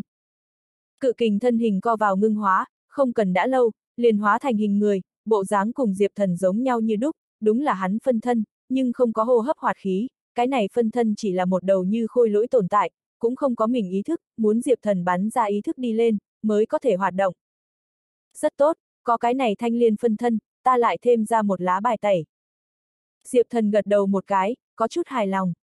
Mấy ngày kế tiếp, hắn liền điều lý khí thức, đem rất nhiều công pháp, thần thông, pháp bảo, binh khí, chúc phúc, quyền hành các loại thủ đoạn, đều dung hội quán thông, bảo đảm có thể lô hỏa thuần thanh vận dụng. Chấm. Cùng lúc đó, không không lúc nào khoảng không, vi giờ nu thánh địa trong. Một thanh niên lơ lửng ở giữa không trung, nhìn chăm chú mảnh này thánh địa. Thanh niên thân mang một bộ trường bào màu đen, vạt áo theo gió lay động, vạt áo ở giữa thêu lên màu vàng nhạt kiếm văn, giản lược mà không mất đi cao quý. Sau người cõng một thanh khoan kiếm, khoan kiếm bị miếng vải đen che đậy, thấy không rõ thân kiếm. Bên hông hắn buộc lên rộng lớn màu đen đai lưng, lại vẫn rủ xuống lấy một thanh đen như mực trường kiếm, trên vỏ kiếm khắc đầy cổ quái phù văn, ẩn ẩn tản ra u quang. Không không lúc nào chống không kiếm khách đồng dạng hoặc là cõng một thanh kiếm, hoặc chính là bên hông treo kiếm, giống hắn như vậy ngược lại là cực kỳ hiếm thấy. Những ngày qua điều tra tới, cái này vi nu thánh địa mới là hai người nơi chôn thây, hơn nữa liễu lạc thần sư muội cùng thái hoang kiếm ma chết, thuộc về hoàn toàn nghiền ép. Bất quá thiên đạo đã biến, ở đây cường giả không thiếu, có thể giết chết liễu lạc thần cùng thái hoang kiếm ma không phải số ít. Sư tôn không để ta đả thảo kinh xà, điều tra thực sự nhận hạn chế, hơn nữa ở đây liên lụy đến trụ thần, nhân quả rất khó dùng thuật pháp tra xét. Bất quá những thứ này tự nhiên không làm khó được ta mộ dung u. Mộ dung u nói xong câu đó, hắn nhắm mắt, quanh thân vậy mà tràn ra từng đóa từng đóa lông vũ màu đen. Ngàn vạn lông vũ như tinh quang điểm điểm, một đạo kêu khẽ không biết từ chỗ nào vang lên, cái kia lông vũ lại hóa thành từng cái hắc điểu, hướng về bốn phương tám hướng tán đi. Mà mộ dung u lơ lửng chi thân cũng tản mát ra một đạo ánh sáng màu vàng. Ta là cửu thiên phượng, giải rác thế gian trần, quang hoa vạn sự, giúp ta tìm kiếm thật. Cuối cùng hai chữ rơi xuống, mộ dung u mi tâm lại xuất hiện một cái đỏ thẫm đôi mắt. Trở về a à. Trong chớp mắt, thiên địa như mực, cái kia vô số hắc điểu bay trở về, hóa thành sâu quang, chui vào mộ dung u trong mi tâm. Phốc, cái kia đỏ thấm đôi mắt trợn to, mộ dung u phun ra một ngụm máu tươi, rõ ràng phương pháp này đối nó tới nói đại giới cực lớn.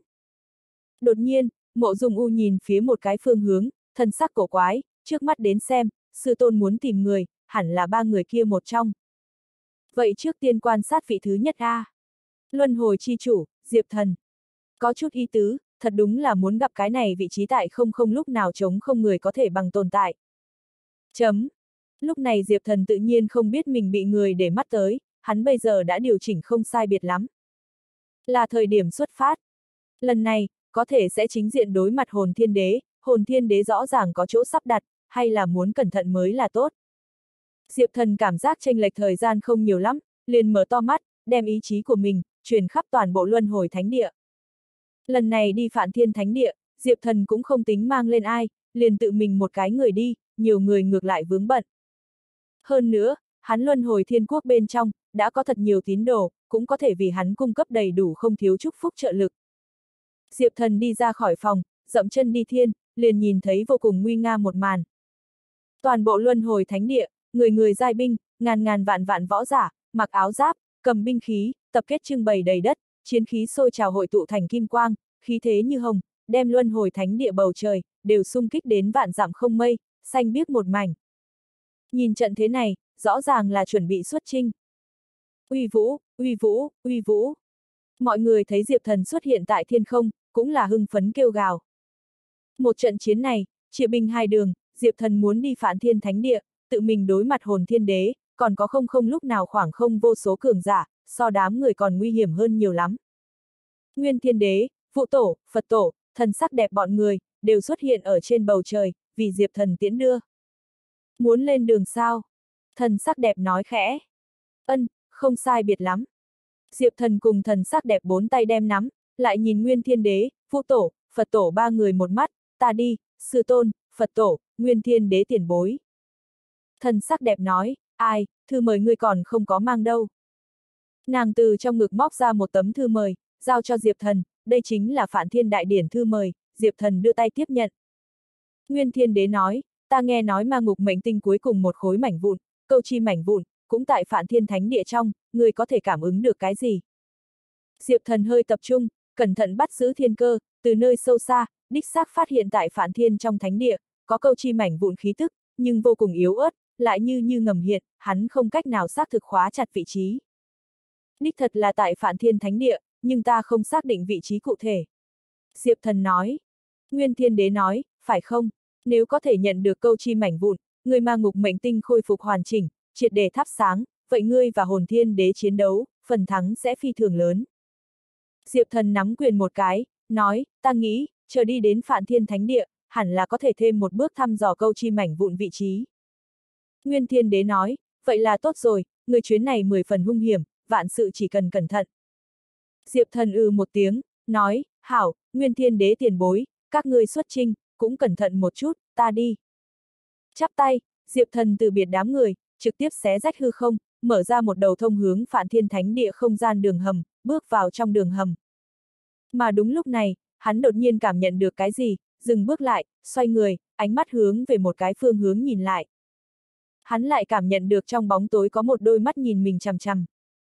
Ở chỗ này, tuyệt đối không phải mình tín ngưỡng giả ánh mắt. Chẳng lẽ có những người khác? Nhưng khi hắn trông đi qua trong nháy mắt, cái loại cảm giác này biến mất. Bây giờ Diệp Thần thực lực cùng cảm giác, không không lúc nào chống không cường giả muốn nhìn mình chằm chằm tuyệt đối sẽ bị hắn phát hiện.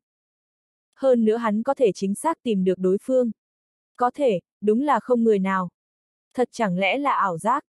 Diệp thần không nghĩ nhiều nữa, binh tới tướng đỡ, nước tới đất ngăn, lần nữa tiến vào không gian đường hầm. Mà tại Diệp thần sau khi biến mất, nơi cực xa, mộ dung u cái kia mi tâm con mắt, lại chảy ra một tia máu tươi. Cái này huyết nhãn để cho mộ dung u gương mặt cực kỳ dữ tợn. Mộ dung u trong tay nắm lấy một khối đặc thù cốt thạch, cốt thạch u u như quỷ hỏa, xuất hiện một chút vết rách. Nhờ có sư tôn tặng cho ta cái này cốt ẩn thần thạch, bằng không thì liền nguy hiểm, xa xôi như thế khoảng cách, gia hỏa này đều suýt nữa phát hiện ta.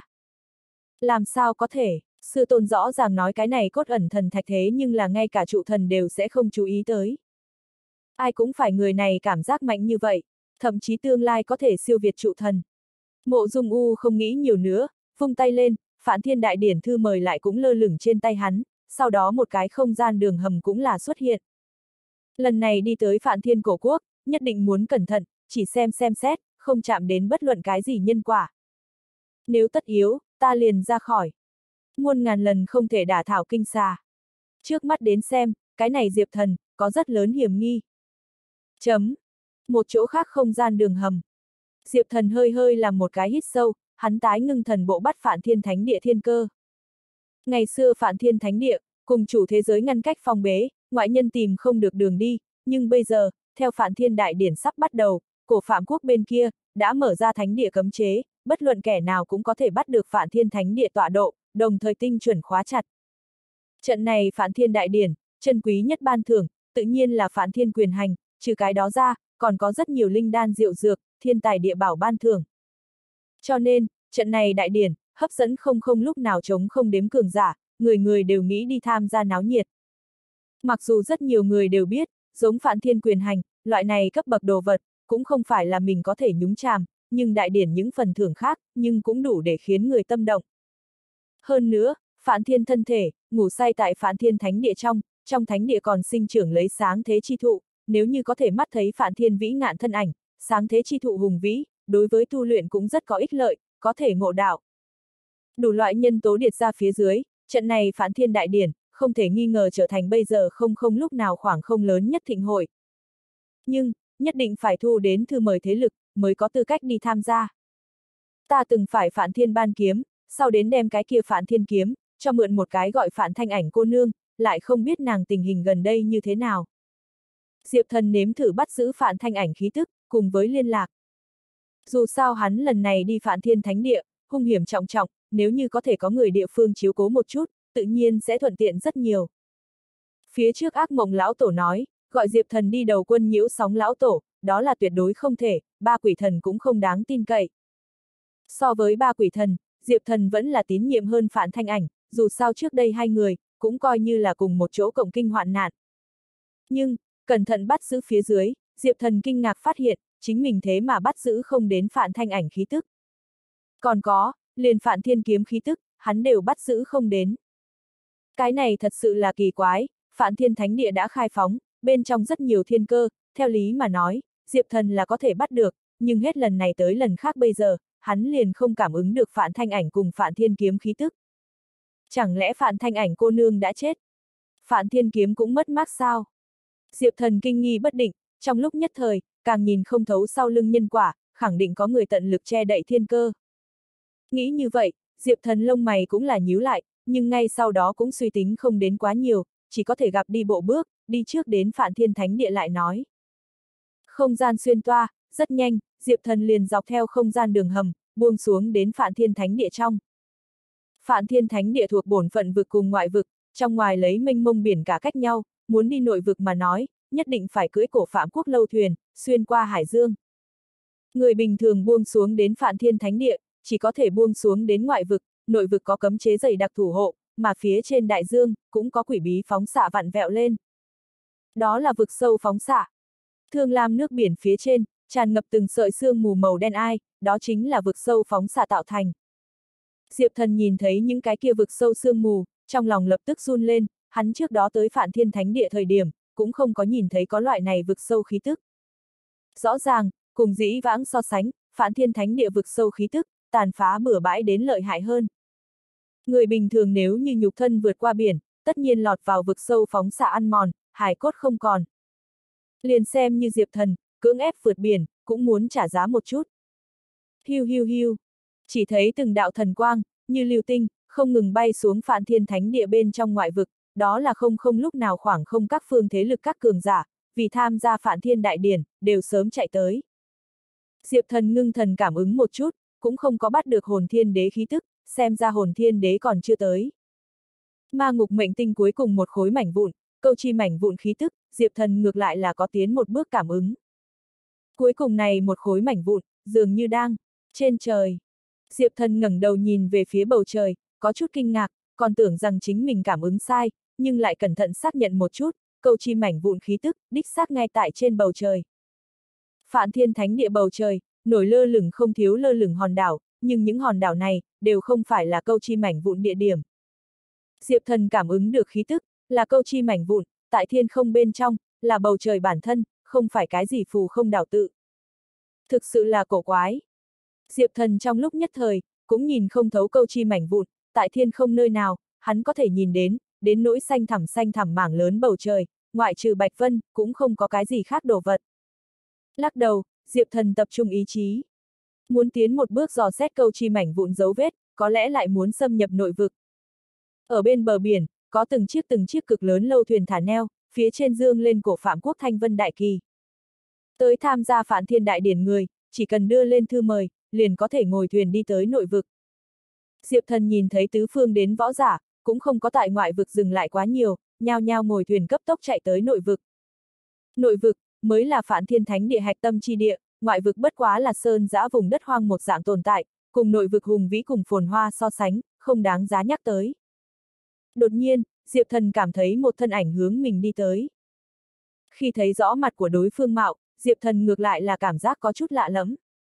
Đối phương mày kiếm mắt sáng, thân hình cao lớn, người mặc trường bào màu đen, bên hông có một thanh kiếm, sau lưng lại cõng một thanh kiếm, ngược lại có chút cổ quái. Bất quá hắn quanh thân tản ra chính khí, ngược lại là để cho người ta ngược lại cảm thấy không có gì không thích hợp. Kỳ quái là, Diệp Thần càng nhìn không mặc tu vi của đối phương, cũng cảm giác không đến đối phương nhân quả. Loại tình huống này, hoặc là tu vi của đối phương hơn mình xa, hoặc là chính là có che đậy khí tức thần vật, tình trạng hôm nay rõ ràng không có khả năng cái trước, xem ra người này ngược lại là có lai lịch lớn. Cũng may trên người đối phương không có bất kỳ cái gì uy hiếp, tương phản khóe miệng mang theo một đạo nụ cười nhàn nhạt. Vị này chỉ sợ chính là uy danh chấn thiên luân hồi chi chủ A, ta vừa vặn rất tốt mấy lần muốn gia nhập vào luân hồi trận doanh, bất quá lý trí vẫn là chiến thắng ý niệm này, ta thân mang cửu hận, còn không có hóa giải, một khi hóa giải, tất nhiên cùng luân hồi chi chủ cùng đối kháng hồn thiên đế.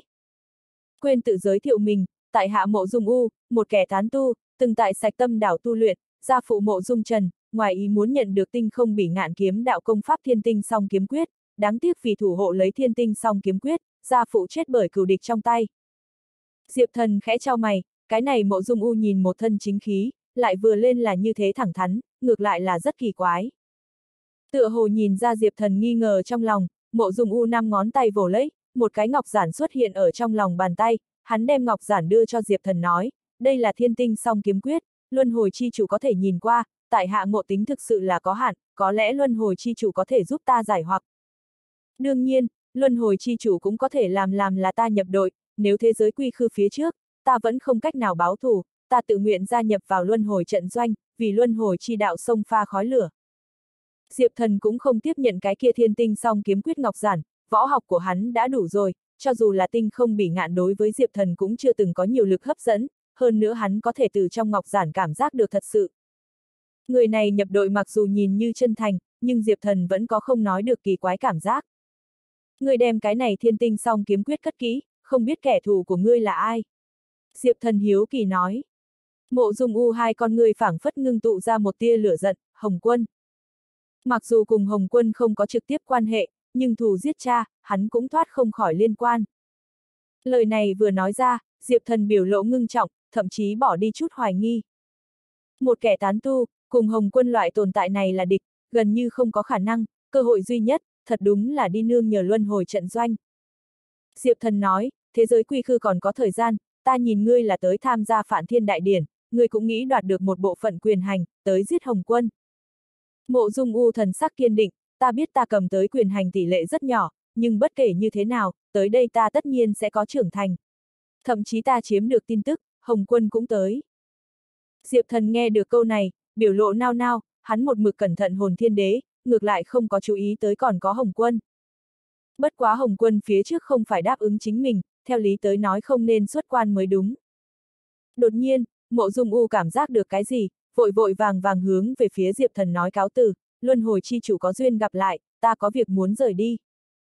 Không đợi Diệp Thần phản ứng, mộ dung u thân ảnh chính là hoàn toàn biến mất. Diệp Thần cũng không nghĩ nhiều cái này nhạc đệm, đang muốn ngồi thuyền tiến đến nội vực, chợt thấy một đạo kim quang sáng chói, chiếu rọi phía chân trời, đem người ánh chiếu lên mắt mở không ra. Một cỗ khí tức bàng bạc, kinh thiên động địa, hoành áp toàn trường, không thiếu võ giả đều lộ ra vẻ kinh hãi, nhìn về phía phía chân trời. Chỉ thấy một đạo tiên phong đạo cốt thân ảnh, đạo bào bồng bềnh, hàng lâm xuống, thế mà thật là Hồng Quân lão tổ. Cái này mộ dung u cư nhiên trước tiên một bộ cảm giác được Hồng Quân. Chẳng qua nếu như đúng như đối phương trong miệng nói tới nhân quả, thật có khả năng. Chỉ là, chẳng biết tại sao, dù cho mộ dung u thẳng thắn như thế, cũng giao phó rất nhiều, thậm chí còn liên hệ Hồng Quân, nhưng Diệp Thần vẫn là có loại không thoải mái cảm giác. Cái này mộ dung u tựa hồ không có một tia không không lúc nào khoảng không cường giả hương vị. Nhưng đối phương một mực ẩn vào sạch tâm đảo, tựa hồ cũng bình thường. Bất kể như thế nào, kẻ này vẫn còn có chút vấn đề. Đương nhiên mặc kệ đối phương mang theo cái mục đích gì, đều không trọng yếu, nếu kẻ này thực tình quy hàng, hắn Diệp Thần tự nhiên hoan nghênh cực kỳ. Như kẻ này không có hảo ý, giết chính là. Dưới mắt quan trọng nhất là Hồng Quân. Chấm. Mộ Dung U đã thối lui đến nơi cực xa, hắn nhìn xem Hồng Quân cùng Diệp Thần, thần sắc cổ quái, sờ cầm một cái. Dựa theo ý của sư tôn, kỳ thực hắn không nên tiếp xúc luân hồi chi chủ. Nhưng liễu lạc thần chết, muốn xác định là luân hồi chi chủ, nhất định phải cùng luân hồi chi chủ thiết lập đầy đủ nhân quả. Chỉ có dạng này, mi tâm của hắn chi mâu mới có tỷ lệ nhất định trả lại như cũng ngày xưa hình ảnh. Càng quan trọng chính là, hắn mộ dung u làm việc, có phương pháp của hắn. Một số thời khắc, chủ động xuất kích, so giấu ở trong bóng tối, càng có lợi hơn. Trước đây không lâu, hắn dùng cốt ẩn thần thạch đều ẩn ẩn bị luân hồi chi chủ phát hiện, mặc dù đối phương không nhiều hoài nghi, nhưng đã cực kỳ khủng bố. Hắn không thể đánh cược, cũng không thể tiếp tục giấu ở trong bóng tối. Cái này luân hồi chi chủ tâm tư kín đáo, không biết chính mình cái này xuất diễn, có hay không bị hắn nhìn ra sơ hở. Theo lý tới nói, nhân quả sắp đặt, thiên y vô phùng, bất luận kẻ nào cũng sẽ không hoài nghi mới đúng. Thôi, dưới mắt cái này phản thiên đại điển tuyệt đối là một màn trò hay. Bất quá cái kia quyền hành, ta vẫn đừng dính nhiễm, bằng không thì chỉ sợ thật không trở về được tinh không bỉ ngạn. Đáng tiếc, đây chính là trụ thần quyền chui A. Nếu là có cơ hội thôn vệ luân hồi chi chủ, thôi, ý niệm này hay là buông tha đi. Mặc kệ luân hồi chi chủ vẫn là hồng quân, cũng là không không lúc nào chống không xương cứng. Chấm. Bây giờ, Diệp Thần tự nhiên không biết mình bị gài bẫy. Hắn nhìn thấy Hồng Quân lão tổ buông xuống, vẫn là rất là chấn động. Hồng Quân, ngươi thế mà tới. Thời khắc này Hồng Quân lão tổ, tu vi so với dĩ vãng cường hãn rất nhiều. Hắn tại trước khi bế quan, chỉ là siêu phẩm thiên đế sơ giai, nhưng bây giờ, không ngờ đạt đến siêu phẩm thiên đế cảnh giới đỉnh cao, hơn nữa khoảng cách đạo quân cảnh vô cùng tiếp cận, toàn thân tản ra khí thế cùng thần quang, quả thực là lồng che trời địa, huy hoàng như đại nhật. Hồng quân lão tổ độc thân hạ xuống, liếc nhìn toàn trường một mắt, một chút liền thấy Diệp Thần. Ân! Hắn gương mặt hơi hơi vặn vẹo một chút, rơi xuống bên cạnh Diệp Thần. Diệp Thần cảm nhận được một cỗ khí thế bức người, may mắn tu vi hiện tại của hắn, cùng so với trước kia, cũng là đột nhiên tăng mạnh. Cho nên, tại Hồng quân lão tổ khí chàng áp bách dưới, hắn vẫn như cũ có thể một mực đứng vững, thân như bàn thạch bất động.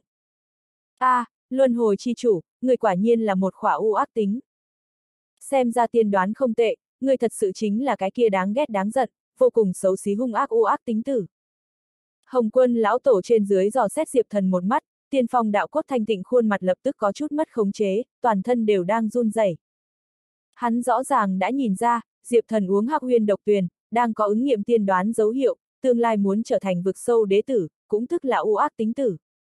Tại Hồng Quân lão tổ trong lòng, Diệp Thần một mực chính là một khỏa u ác tính, Diệp Thần đi tới chỗ nào, liền sẽ đem sát lục cùng tai họa, đưa đến nơi nào. Hừ. Dưới tức giận, Hồng Quân lão tổ ra tay, bàn tay như phi long tập kích, đột nhiên chụp vào Diệp Thần bên trong ngực. Lần này ra tay thế như sấm sét, nhưng Diệp Thần phản ứng cũng là hết sức nhanh chóng, trong nháy mắt trở tay đánh trả, bàn tay mang theo cửu thiên chân lôi nguyền rủa hủy diệt thần uy, đột nhiên đẩy, liền đem Hồng Quân lão tổ ngay cả người mang trưởng đẩy ra. Đi! Hồng Quân lão tổ há mồm phun một cái, phun ra một đạo phi kiếm, bắn về phía Diệp Thần mi tâm. Diệp Thần linh tê nhất chỉ, ngón tay nhập lại đem phi kiếm kẹp lấy, trên ngón tay phóng ra hổ phách thạch tâm huy quang, phòng ngự kiên cố vô cùng, chỉ lực chấn động, liền làm vỡ nát Hồng Quân lão tổ phi kiếm. Hồng Quân lão tổ sắc mặt trắng nhợt, lùi lại hai bước, nói, xem ra ta vẫn là đánh giá thấp ngươi, ngươi tu vi lại tới mức như thế. Lấy hắn siêu phẩm thiên đế đỉnh phong thực lực, cùng Diệp Thần cận thân bác đấu, lại vẫn rơi xuống hạ phong, dù là hắn chỉ là tùy tiện ra tay mà thôi, nhưng cũng quả thực là không thể tưởng tượng nổi. Diệp Thần đồng thời nắm giữ lấy Siva cùng Vizanu đạo thống thuật pháp, hủy diệt chi đạo cùng thủ hộ chi đạo gia thân, hợp nhau lại càng tăng thêm sức mạnh, quả thực là vô địch. Hồng quân lão tổ đoán chừng mình muốn chiến thắng Diệp Thần, chỉ có thiêu đốt khí huyết tính mệnh, liều mạng mất mạng già. Diệp Thần cường đại, đã cường đại đến siêu phẩm thiên đế đỉnh phong cường giả, cũng không thể áp chế hắn. Từ nhìn bề ngoài, Diệp Thần tu vi chỉ là nửa bước thiên đế, nhưng tổng hợp sức chiến đấu, ít nhất có thể cùng siêu phẩm thiên đế đỉnh phong tương đương, có thể cùng Hồng Quân lão tổ bình khởi bình tọa. Mà dựa vào cường đại hủy diệt công pháp và thủ hộ công pháp, Diệp Thần cận thân đấu võ bản sự, có một không hai chư thiên, đừng nói Hồng Quân lão tổ, coi như hồn thiên đế tới, cứng đối cứng đều chưa hẳn có thể đụng đến qua hắn. Không thiếu đạo ánh mắt, hướng Diệp Thần cùng Hồng Quân lão tổ phóng tới, rất nhiều người đều lộ ra vẻ chấn động, sớm nghe Diệp Thần cường đại, bây giờ tận mắt nhìn thấy, mới biết được Diệp Thần lại cường đại đến tình trạng như thế, liền Hồng Quân lão tổ đều có thể áp chế. Hồng Quân, ngươi không phải đang bế quan sao? Ngươi khi đó không phải hứa hẹn qua, chỉ có ở thế giới quy khư đến thời điểm, mới xuất quan. Diệp thần nhìn chằm chằm Hồng quân lão tổ, hỏi. Hồng quân lão tổ nói, ta bế quan sau đó, long trời lở đất, liền cựu thiên đạo đều bể nát, trời mới đạo thiết lập, như thế thế giới thay đổi, vốn là tại trăm năm sau quy khư đại kiếp, lại trong vòng một năm buông xuống. Quy khư đại kiếp lửa xém lông mày, chỉ có ngắn ngủi thời gian một năm, ta xuất quan có gì không thể. Cũng không tính vi phạm chữ tín. Diệp thần nói, cái kia cũng còn có một năm, người sớm xuất quan, chính là vứt bỏ chữ tín. Hồng quân lão tổ lắc lắc đầu nói, luân hồi chi chủ, người không cần lấy ngôn ngữ kích tướng, ta đạo tâm há có thể dễ dàng bị ngươi dung chuyển. Ta lần này xuất quan, không thẹn với lương tâm.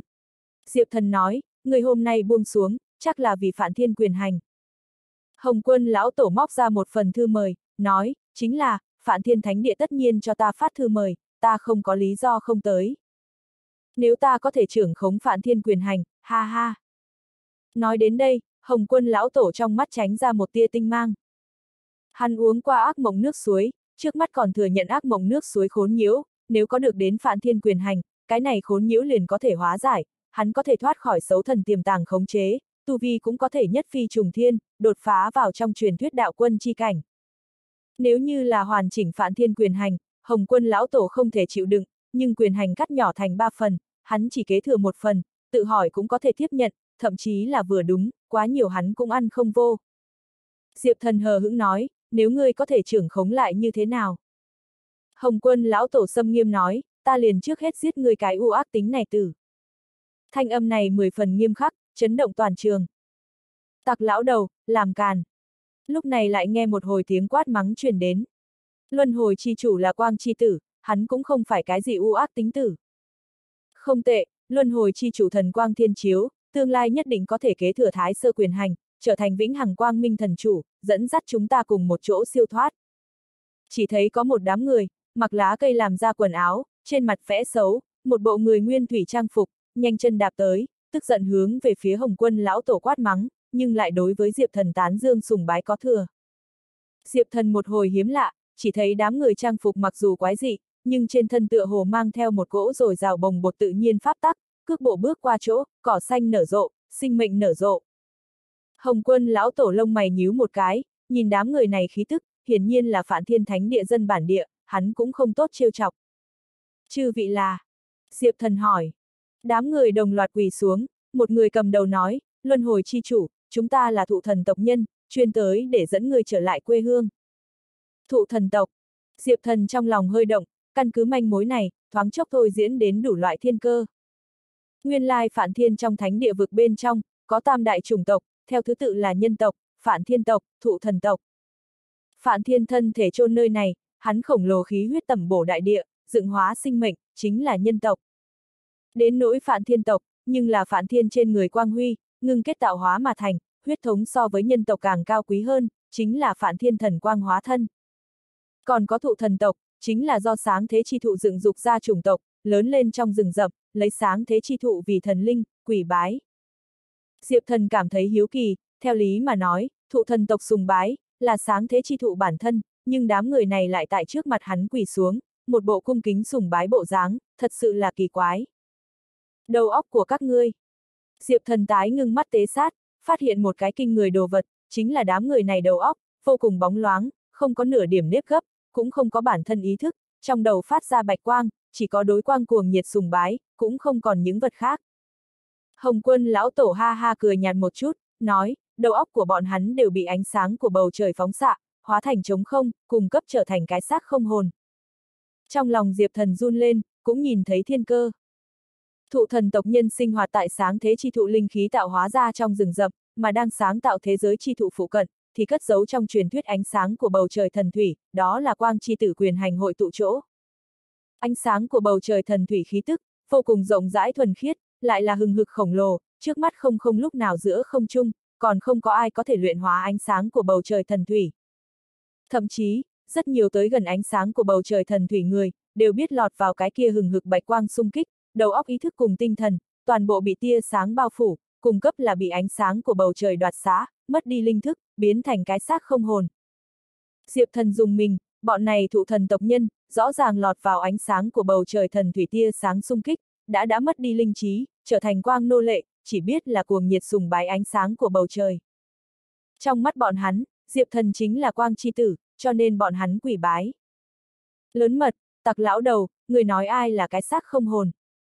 Một đám thụ thần tộc nhân vô cùng phẫn nộ, ánh mắt như dao nhìn chằm chằm hồng quân lão tổ, nhưng không có diệp thần mệnh lệnh, lại không dám ra tay, vẫn quỷ dưới đất.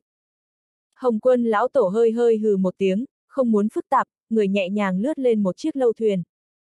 Diệp thần không muốn cùng bọn này thụ thần tộc nhân dây dưa, ôm quyền nói, chư vị đứng lên đi, không cần lại quỳ, ta cũng nên cáo từ. Ngày khác nếu ta thật trở thành quang chi tử, chúng ta có duyên gặp lại. Hắn qua loa khách sáo một câu, liền muốn rời đi. Thụ thần tộc chúng người liền vội vàng đứng lên, đem Diệp thần vây quanh, tất cả mọi người ánh mắt đều mang thành kính cùng sùng bái thần sắc, lại là vội vàng. Một người nói, luân hồi chi chủ, ngươi là tương lai quang chi tử, quang chi linh nữ đang chờ ngươi, ngươi theo chúng ta đi một chuyến A. Trong lòng Diệp thần bỗng dưng nhảy một cái, thoáng chốc có loại thiên cơ hiểu rõ cảm giác, nói, quang chi linh nữ, là Lăng xương tiên tử sao? Người kia mừng lớn nói, chính là, chính là, là quang chi linh nữ phái chúng ta tới đón ngươi, chúng ta đi thôi. Nói đến đây, hắn chỉ chỉ bờ biển một chiếc thuyền nhỏ, bọn hắn ngồi thuyền nhỏ mà đến, cùng cổ phạm quốc tiếp đãi khách mời nguy nga thuyền lớn so sánh, lộ ra vô cùng khó coi. Diệp thần rất là hoài nghi, cứ như vậy một chiếc thuyền nhỏ, có thể hay không vượt qua hải dương. Nói không chừng sẽ lật thuyền trong mương, vậy liền được không bù mất. Khoảng cách phản thiên đại điển còn có chừng 10 ngày thời gian, đi gặp lăng xương tiên tử, cái kia cũng không tệ, có lẽ có thể được đến chút trợ giúp. Diệp thần cảm thấy tính toán, hắn từng cùng lăng xương tiên tử từng có một đoạn thiện duyên, thậm chí từng có một hồi vui sướng chi mộng. Hắn bắt giữ không đến lăng xương tiên tử khí tức, bởi vì nàng là quang tinh linh, là ánh sáng của bầu trời thần thủy ức vạn thần quang một hạt quang tử, từ trên bản chất nói, nàng chính là quang. Làm Diệp thần tính toán bắt giữ lăng xương tiên tử nhân quả, hắn không nhìn thấy mảy may đồ vật, chỉ có thể nhìn thấy một mảnh trắng xóa quang. Nếu như không quan tâm, cưỡng ép xâm nhập dò xét mà nói, mình còn có bị bạch quang thôn phệ nguy hiểm. Đây chính là quang kinh khủng. Lăng xương tiên tử chỉ là một khỏa hạt ánh sáng, trên người nàng dính líu tới nhân quả, liền như thế kinh khủng, liền Diệp Thần cũng không thể nhìn rõ. Đối với lăng xương tiên tử, Diệp Thần cũng là mười phần có hứng thú, hắn cũng không ngại đi theo những cây này thần tộc người, đi gặp lăng xương tiên tử. Lập tức, Diệp Thần cùng một đám thụ thần tộc nhân, leo lên thuyền nhỏ, hướng về bên kia bờ đại dương chạy tới. Những cây này thần tộc người, có người phụ trách chèo thuyền, có người phụ trách cầu nguyện ngâm sướng, phá vỡ sóng gió tiến lên, như là mũi tên mau lẹ, tốc độ cùng cổ phạm quốc lâu thuyền so sánh, thế mà cũng không kém chút nào. Hồng quân lão tổ gặp Diệp Thần ngồi ở trên thuyền nhỏ, trước một bước lái vào biển rộng mênh mông, không khỏi hơi lộ ra vẻ kinh ngạc. Audio điện tử võ tấn bền. Tiểu tử này lại hữu cơ duyên. Hồng quân lão tổ sầm mặt lại, chỉ thấy biển rộng mênh mông bên trong, vực sâu sương mù tràn ngập, nhưng khi hắc ám vực sâu sương mù, gào thét thổi đến đến diệp thần mạn thuyền, liền bị một cỗ sáng chói bạch quang đẩy ra. Trên thuyền có mấy cái thụ thần tộc nhân, phụ trách cầu nguyện ngâm sướng, bọn hắn trong miệng nói lẩm bẩm, ca ngợi cũng không phải sáng thế chi thụ, mà là quang. Bọn hắn tán tụng ánh sáng của bầu trời, quang sẽ ban cho chúc phúc, tạo thành một cỗ thủ hộ, đẩy ra vực sâu ma vụ, để cho thuyền nhỏ trong sóng gió vững vàng tiến lên, nhanh như phi tiễn. Hồng quân lão tổ sắc mặt khó coi, hắn cảm giác Diệp thần lại phải có kỳ ngộ. Diệp thần tạo hóa cơ duyên, vẫn luôn rất nhiều, thường thường có thể tại trong tuyệt cảnh, nghịch chuyển thế cục. Răng rắc răng rắc, Hồng quân lão tổ một cái khô già bàn tay, xương cốt bạo hưởng, gân xanh nổi lên, rất muốn lập tức ra tay, cắt đứt Diệp thần thuyền, nhưng lại không có nắm chắc. Chỉ do dự một chút, Diệp thần thuyền đã thâm nhập biển cả, biến mất ở trong mênh mông vực sâu sương mù. Diệp thần ngồi thuyền nhỏ tiến lên, ra ngoài ý định, thế mà tương đối bình ổn, thuyền nhỏ chạy tại gợn sóng cuồn cuộn, vực sâu ma khí tràn ngập trên đại dương bao la, càng là như dẫm trên đất bằng. Luân hồi chi chủ xin yên tâm, ngươi là quang chi tử, chúng ta có ánh sáng của bầu trời che chở, mặc kệ là cái gì ngập trời sóng gió, vẫn là vực sâu sương mù trướng, đều có thể chống lại. Một cái thụ thần tộc nhân hưng phấn hướng Diệp thần đạo. Diệp thần gật gật đầu, ước chừng sau một ngày, thuyền nhỏ vượt qua biển cả, rốt cuộc đã tới nội vực địa giới. Đưa mắt nhìn lại, chỉ thấy nội vực bên trong, khắp nơi sơn thanh thủy tú, cỏ ngọc kỳ hoa khắp nơi, linh khí mở mịt, hào quang tuôn hướng, bạch lộc tiên hồ bôn tẩu, hoàng hạc khoan thai tại thiên vân ở giữa dương cánh lướt qua, một mảnh tiên gia thánh cảnh khí tượng. Diệp thần hít sâu một hơi, chợt cảm thấy tâm thần thanh thản, toàn thân nhẹ nhàng khoan khoái, nhưng trong lúc đột ngột, Diệp thần lại có loại tim đập rộn lên cảm giác. Hắn ngẩng đầu nhìn về phía bầu trời, bầu trời xanh thẳm tựa như một khối tinh khiết lam ngọc, Diệp thần từ bên trong vùng trời này, lại bắt được một tia khí tức quen thuộc. Là câu chi mảnh vụn khí tức. Câu chi mảnh vụn, quả nhiên trên bầu trời sao. Loại cảm giác quen thuộc này, đã phi thường cường liệt, mãnh liệt đến Diệp thần sinh ra ảo giác, phảng phất chỉ cần mình giơ tay lên, đem bầu trời xé nát, câu chi mảnh vụn liền có thể rớt xuống. Nhưng bầu trời này, như thế nào có thể xé thành nát?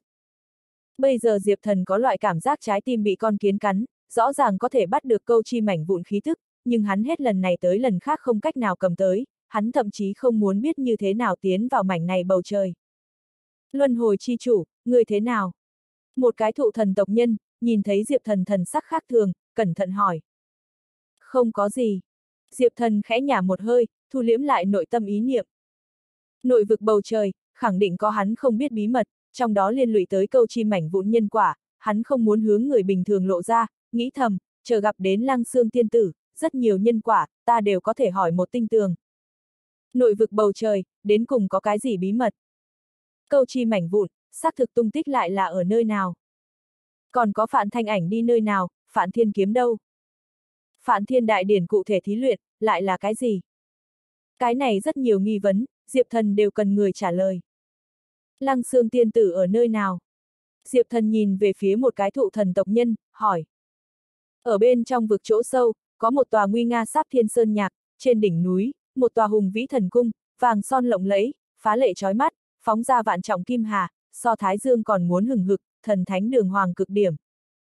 Tại thần cung hậu phương, là một gốc càng lớn lớn thần thụ, vô cùng xanh tươi, lá cây thành nắp bao phủ thiên vũ, mạnh mẽ hùng hậu rộng rãi bàng bạc sinh cơ, mang theo kinh người màu xanh biếc, tràn ngập ra, làm cho toàn bộ phản thiên trong thánh địa vực, khắp nơi linh dược nở rộ, tiên hoa tranh diễm. Diệp thần nghĩ thầm khả năng này chính là sáng thế chi thụ, nhưng nhìn kỹ lại, thần sơn đỉnh đại thụ, nhìn mơ hồ, tựa hồ chỉ là một cái bóng mờ, cũng không phải là chân thực tồn tại. Nếu như chỉ là một cái bóng mờ, sinh cơ linh khí liền như thế kinh khủng, vậy chân chính sáng thế chi thụ, khả năng lượng chi rộng rãi, có thể muốn vượt xa khỏi Diệp thần tưởng tượng. Luân hồi chi chủ, đây không phải là linh nữ đại nhân chỗ. Đó là cổ phạm quốc thần cung. Một cái thụ thần tộc nhân, gặp Diệp thần mắt không chấp nhìn qua phương xa thần sơn, liền ngay cả vội vàng giải thích.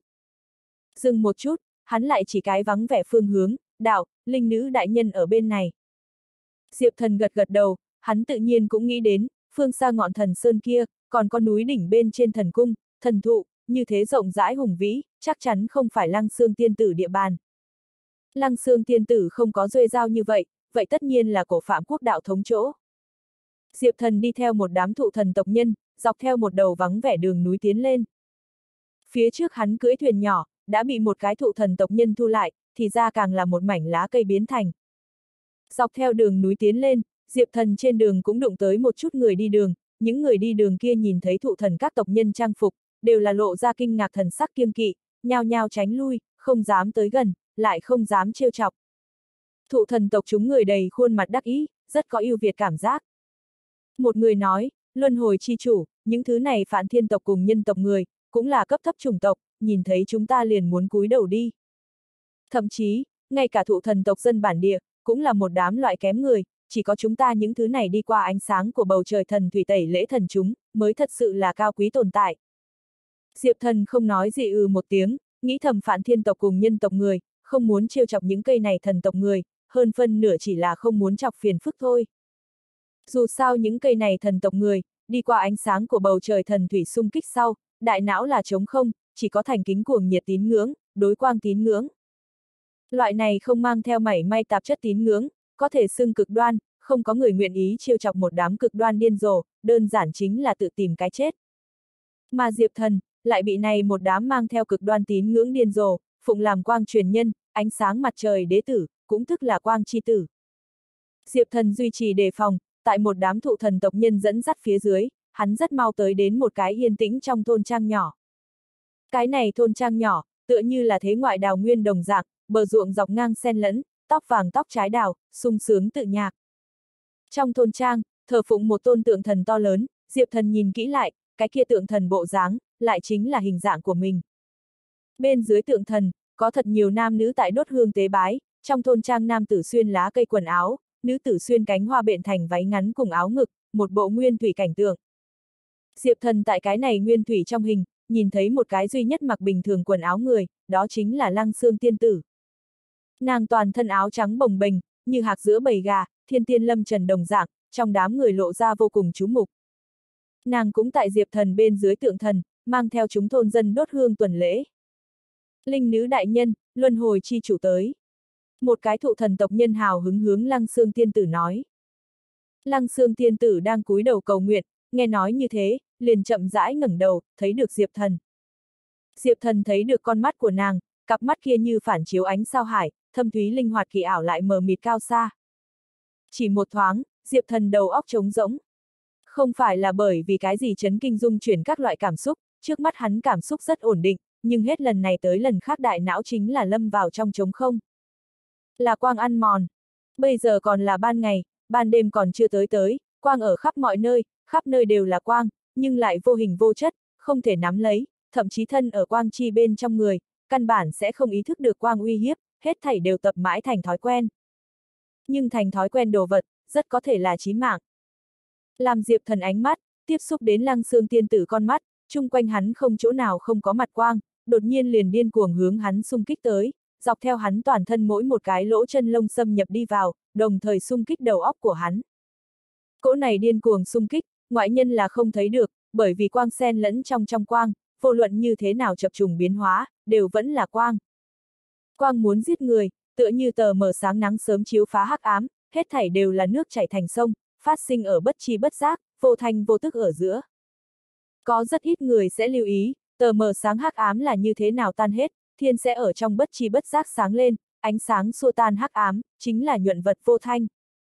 Diệp thần toàn thân lỗ chân lông phát nổ, trong lòng của hắn nhảy ra một cái ý niệm. Ta phải chết, chết ở trong ánh sáng của bầu trời, như hắc ám bị nắng sớm chiếu phá. Ý nghĩ này vừa nhô ra, liền cấp tốc bị dìm ngập, cuồn cuộn ánh sáng của bầu trời đã xông vào Diệp Thần đại não, muốn đem hắn đại não rội rửa thành trống rỗng, chôn tinh thần của hắn linh trí. Nhưng may mắn Diệp Thần đạo tâm cường đại, cảm thấy được nguy cơ sinh tử tới gần sau, trong lòng của hắn một cách tự nhiên làm ra phản ứng. Hoa lạp. Hắn tại trong đại não, quan tưởng luân hồi thiên quốc, luân hồi thiên quốc kim quang cuồn cuộn cảnh tượng, liền tại hắn trong đại não hiện ra. Tất cả xung kích đến hắn đại não ánh sáng của bầu trời, toàn bộ bị đồng hóa, hóa thành luân hồi thiên quốc tia sáng một bộ phận. Muốn thế nào đối kháng ánh sáng mặt trời ăn mòn? Vấn đề này, Diệp Thần tự nhiên nghĩ tới, hắn cũng suy nghĩ qua đủ loại chống lại phương pháp giải quyết. Giờ khắc này, hắn phúc trí tâm linh, liền biết một cái đơn giản biện pháp. Đó chính là, ẩn giật. Không muốn đi kháng cự quang, muốn đi tiếp nhận, muốn hài hòa, muốn cùng quang cùng trần, đem ngoại giới hết thảy tạp nhạp tia sáng, toàn bộ chuyển hóa đồng hóa thành chính mình quang. Một sát ở giữa, Diệp Thần chung quanh kim quang cuồn cuộn, là hắn luân hồi thiên quốc tia sáng, phóng thích ra ngoài, đem trong thiên địa quang, đều đồng hóa trở thành kim sắc. Ha ha, luân hồi chi chủ, thần thông của ngươi đạo pháp, so trước đó tiến bộ rất nhiều đâu. Lăng xương tiên tử nhìn thấy cảnh tượng này, ôn uyển nở nụ cười. Ánh sáng mặt trời ăn mòn uy hiếp đã giải trừ, thậm chí bị Diệp Thần đồng hóa mất, Diệp Thần nhìn xem biểu lộ ôn nhu lăng xương tiên tử, khẽ mỉm cười một cái, nói. Tiên tử là muốn giết ta. Vừa mới bắt đầu ngày mới quang ăn mòn đại não, cũng không phải cái gì hư giả, mà là tử vong chân chính nguy cơ. Nếu như không phải Diệp Thần thủ đoạn tinh diệu, quyết đoán cấp tốc, nghĩ tới ẩn giật biện pháp, hắn đại não rất có thể đã bị ánh sáng của bầu trời bao phủ, trở thành giấy trắng. Lăng Sương Tiên Tử cười nói, làm sao lại thế? Chỉ là một điểm nho nhỏ khảo nghiệm thôi. Diệp Thần khóe miệng giật giật, cái này khảo nghiệm nho nhỏ, nếu là hắn có chút sai lầm, có thể sẽ chí mạng.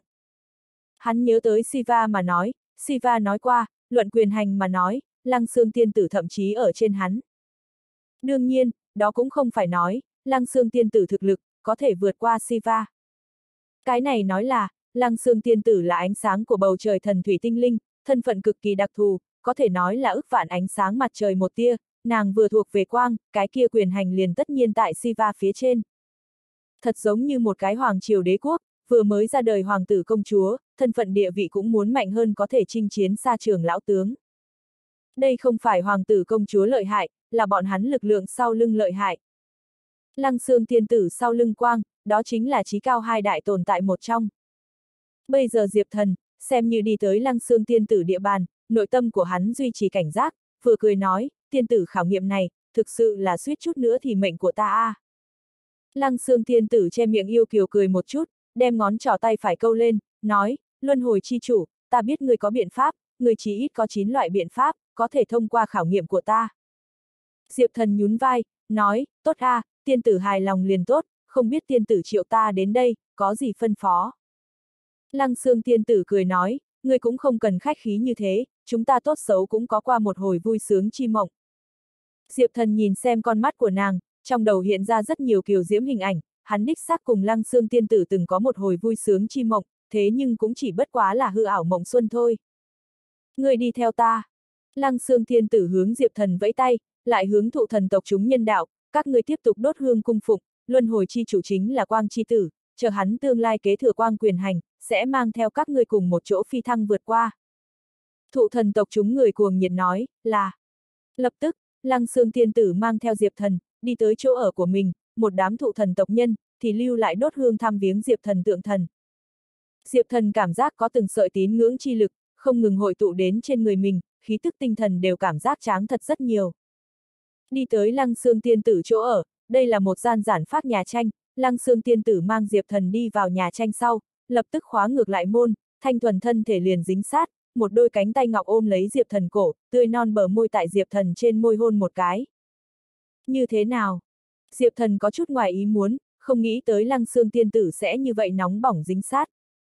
Mà cho dù nàng đã chủ động dính sát, biểu tình trên mặt vẫn là thanh thuần bộ dáng như xương, không nhìn thấy cái gì dục niệm thần sắc.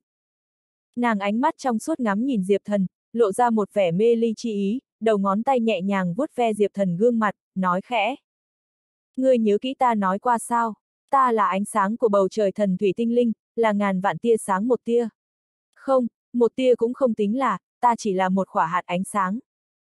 Ánh sáng của bầu trời thần thủy thoáng nổi lên một điểm gợn sóng triều tịch, liền đủ để đem ta bao phủ. Mà ta, muốn sống sót, nhất định phải có một khối cơ thạch, củng cố tự thân, cũng tức là hải đăng. Ngươi chính là cơ thạch của ta, ta hải đăng. Ta hy vọng ngươi có thể giúp ta. Nàng sờ lấy Diệp Thần gương mặt, lại lại gần hôn Diệp Thần một chút. Diệp Thần cảm giác thân thể nàng thanh thanh lương lương, nhưng nàng da thịt trắng noãn dường như đang phát sáng, cái kia cỗ tia sáng để cho Diệp Thần cảm thấy sâu đậm nguy hiểm. Nếu là cùng lăng xương tiên tử quá mức thân cận mà nói, trên người nàng tia sáng, rất có thể đem chính mình bao phủ.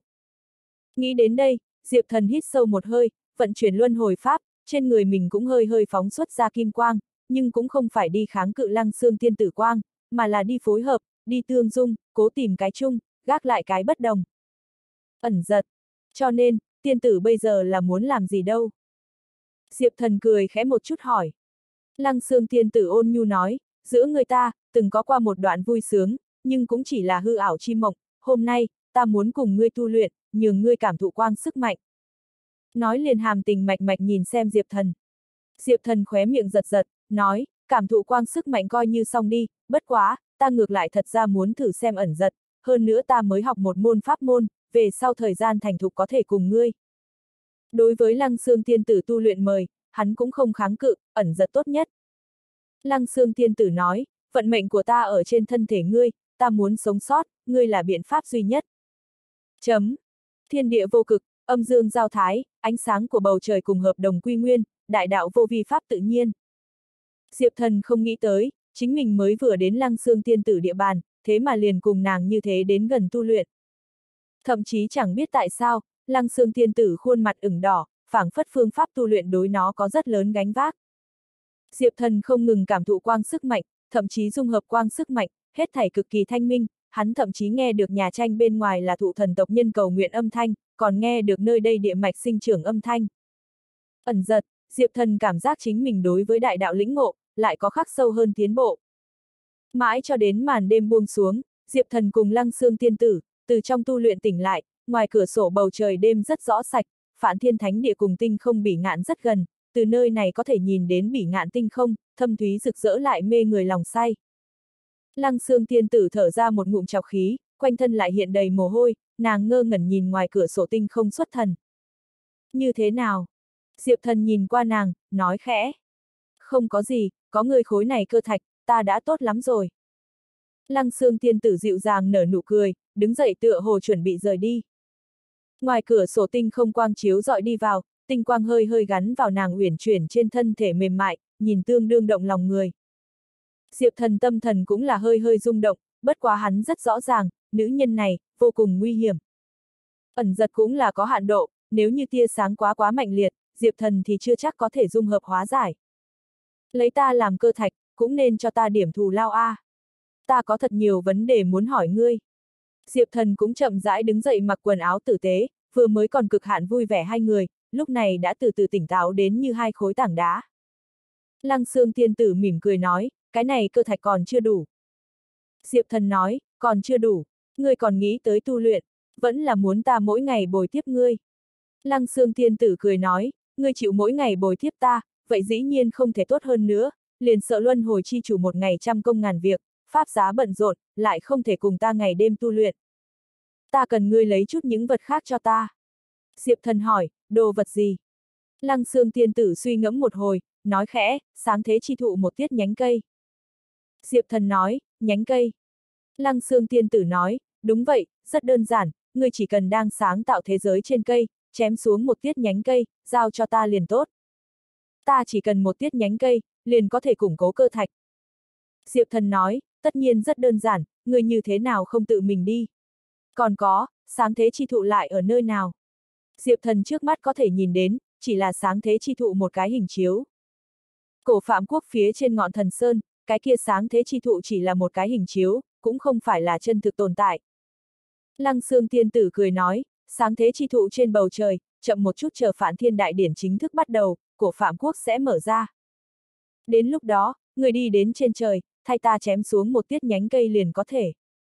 Ta là không thể đi, bởi vì ánh sáng của bầu trời thần thủy ngay tại sáng thế chi thụ phụ cận, một khi ta tới gần, ta sẽ bị ánh sáng của bầu trời bao phủ. Trong lòng Diệp thần run lên, nghe lăng xương tiên tử nói đến đây, hắn cũng ẩn ẩn bắt được manh mối, sau đó đẩy ngược thiên cơ, mơ hồ thấy được ánh sáng của bầu trời thần thủy hình ảnh, đó là một mảnh trắng xóa hồ nước, hồ nước là từng hạt điểm sáng nhỏ vụn tạo thành, mỗi một hạt quang đều mang theo kinh khủng đại đạo thần uy, một điểm quang mang liền đủ để đem một vùng vũ trụ chiếu dọi thành trống không phế tích. Chỉ là thôi diễn thiên cơ, còn không phải tận mắt nhìn thấy, Diệp Thần liền có loại mình đã bị ánh sáng của bầu trời chìm ngập ảo giác, nếu là tự mình đối mặt, loại cảm giác này sợ rằng sẽ càng thêm mãnh liệt, đừng nói luyện hóa, liền nhìn thẳng ánh sáng của bầu trời thần thủy, đều có thể thân hồn câu diệt. Diệp Thần vội vàng cắt đứt thiên cơ nhìn trộm, do dự suy nghĩ một chút, hỏi, sáng thế chi thụ, trên bầu trời. Bầu trời này, đến cùng có cái gì bí mật? Căn cứ hắn cảm ứng, câu chi mảnh vụn cũng tại trên bầu trời, nhưng trời xanh mênh mông, hắn nhìn không thấu nội tình. Lăng Sương Thiên Tử mỉm cười, nói, kỳ thực cũng không tính là gì bí mật, cổ Phạm Quốc tất nhiên quyết định muốn khai phóng, vậy thì không phải là bí mật. Phạm Thiên Thánh địa ngoại trừ ngoại vực cùng nội vực, kỳ thực còn có một mảnh thiên vực. Sáng thế chi thụ, Phạm Thiên thân thể, ánh sáng của bầu trời thần thủy, còn có vi giờ nu cho cốt đàn, đều tại trong thiên vực. Chỉ là, tại vạn năm trước, cổ Phạm Quốc quốc sư Phạm Cô Hồng, vì phòng ngừa ánh sáng của bầu trời thần thủy quang, từ thiên vực tiết lộ xuống, cho nên hắn lấy đại thần thông thủ đoạn, đem thiên vực phong bế. Ngươi không cảm giác được thiên vực khí tức, đó là bởi vì thiên vực bị tầng tầng phong bế, nhưng chờ phản thiên đại điển bắt đầu, thiên vực sẽ một lần nữa khai phóng. Diệp thần con mắt hơi sáng, nói, thì ra còn có một mảnh thiên vực sao. Nguyên lai tại phản thiên thánh địa trong, ngoại trừ ngoại vực cùng bên trong vực ngoại, còn có một mảnh thiên vực, không trên đất bên trên, trên bầu trời. Cái gọi là bầu trời, bản thân liền là thiên vực hiển hóa. Diệp thần mong muốn câu chi mảnh vụn, hơn phân nửa cũng là tại thiên vực phía trên. Cái kia cổ Phạm Quốc quốc sư, Phạm Cô Hồng, hắn lại có bao nhiêu lợi hại? Diệp thần lại hỏi, vừa mới lăng xương tiên tử nói đến cổ Phạm Quốc quốc sư thời điểm, trong lòng của hắn không hiểu lột bột nhảy một cái, có loại mịt mờ nguy hiểm dự cảm. Cái này cổ Phạm Quốc quốc sư, chẳng lẽ sẽ đối với chính mình bất lợi? Lăng xương tiên tử nói, quốc sư trước kia là thượng phẩm thiên đế, gần nhất trời mới đạo thiết lập, hắn tu vi đã tấn thăng đến siêu phẩm thiên đế. Nhưng, hắn là phản thiên tộc tộc trưởng, sau lưng có phản thiên chúc phúc, thực lực lại không thể để bày tỏ mặt đến xem, lão gia hỏa này nếu là toàn lực bộc phát mà nói, thực lực còn có thể càng kinh khủng. Diệp thần nghe lăng xương tiên tử nâng lên quốc sư thời điểm, ngữ khí bất thiện, liền hỏi, người cùng quốc sư này có thù sao? Lăng xương tiên tử nói, có thù không tính là, chỉ là ánh mắt của hắn, để cho ta rất không thoải mái, hắn đối quang có ngấp nghé, có thể si tâm vọng tưởng, muốn trở thành quang chi tử. Nhưng quang chi tử là ngươi, như thế nào lại là lão già kia? Nói, lăng xương tiên tử nâng Diệp thần khuôn mặt, nhìn thật sâu một mắt. Phản thiên tộc tộc trưởng. Diệp thần âm thầm đoán quốc sư thực lực, muốn sớm phòng bị một tay. Lăng xương tiên tử nói, ân, ngươi hẳn phải biết, mảnh này phản thiên thánh địa, tồn tại tam đại chủng tộc, chính là phản thiên tộc, nhân tộc, thụ thần tộc. Trong đó, phản thiên tộc danh xưng chính mình huyết mạch là cao quý nhất, bọn hắn là phản thiên quang và khí huyết tạo hóa mà thành, thiên thiên vạn vạn tộc nhân, kỳ thực có thể nói là phản thiên thiên thiên vạn vạn hóa thân, là phản thiên thành tín nhất đồ tử đồ tôn. Bọn hắn có thể trực tiếp mượn dùng phản thiên chúc phúc, thực lực vô cùng cường đại, chính là hài nhi mới vừa ra đời, cũng có đổ long thực lực. Cổ Phạm Quốc là chính giáo hợp nhất quốc gia, nhân tộc thiết lập triều đình, phản thiên tộc thiết lập phản thiên dạy, cái kia Phạm Cô Hồng, là phản thiên tộc trưởng, cũng là phản thiên giáo chủ, càng là cổ Phạm Quốc sư, liền hoàng đế đều phải hắn lên ngôi, mới có tư cách xưng đế. Diệp thần trong lòng hơi động, nói, vậy cái này quốc sư, quyền thế thực sự là ngập trời a. À. Lăng Sương Tiên Tử nói, đương nhiên, hắn là cổ phạm quốc là cao quý nhất tồn tại cường đại, cũng là phản thiên thánh địa lớn nhất chúa tể, trong nhân tộc, một chút thiên phú dị bẩm giả, hay là cùng phản thiên người có duyên, có thể thu được quốc sư ban cho họ, chính là họ phạm. Phạm họ là cổ phạm quốc cao quý nhất dòng họ, người bình thường là không có tư cách mang lên cái họ này. Diệp thần nghe đến đó, trong lòng lại là khẽ động, nghĩ đến Phạn Thanh Ảnh, nàng chính là họ Phạm. Diệp thần còn nhớ rõ, Phạn Thanh Ảnh tựa hồ có người ca ca, gọi Tiêu Hàn Tinh, hai người là huynh muội, lại khác họ, nghĩ đến Phạn Thanh Ảnh dòng họ, là quốc sư ban tặng, đã thay đổi. Ta có người bằng hữu chính là họ Phạm. Diệp thần nghĩ đến phản Thanh Ảnh sinh tử không biết, liền muốn hướng Lăng Xương Tiên Tử nghe ngóng. Một phương diện, Diệp thần trọng tình trọng nghĩa, phản Thanh Ảnh nếu là bạn hắn, hắn tự nhiên quan tâm.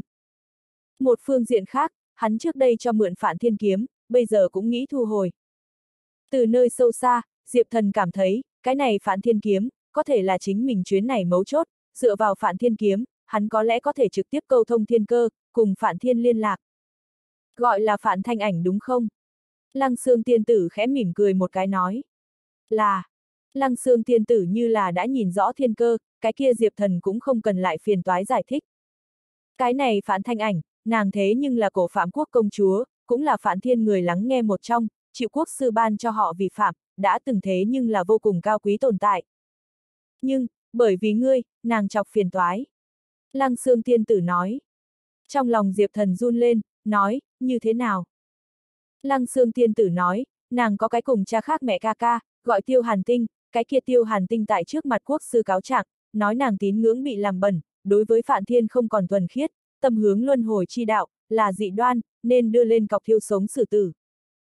Diệp Thần phát lệnh, hắn trước đây cùng phản Thanh Ảnh, đích xác từng có một đoạn thiện duyên, hắn còn mượn kiếm cho nàng, chưa từng nghĩ lại hại nàng. Phạm cô nương còn sống sao? Diệp Thần liền vội hỏi. Lăng Sương Tiên Tử nói, còn sống, vậy quốc sư rất kỳ quái, hắn trước tiên nói muốn xử tử phản thanh ảnh, nhưng về sau còn nói, muốn thả nàng, trước sau thái độ tương phản, giống như biến thành người khác tựa như, quả thực cổ quái. Cuối cùng, tại tiêu hàn tinh dưới sự kiên trì, quốc sư cũng không thả người, cũng không giết người, mà là đem cái kia phản thanh ảnh, giam giữ tại trong vòng uyên biên thùy.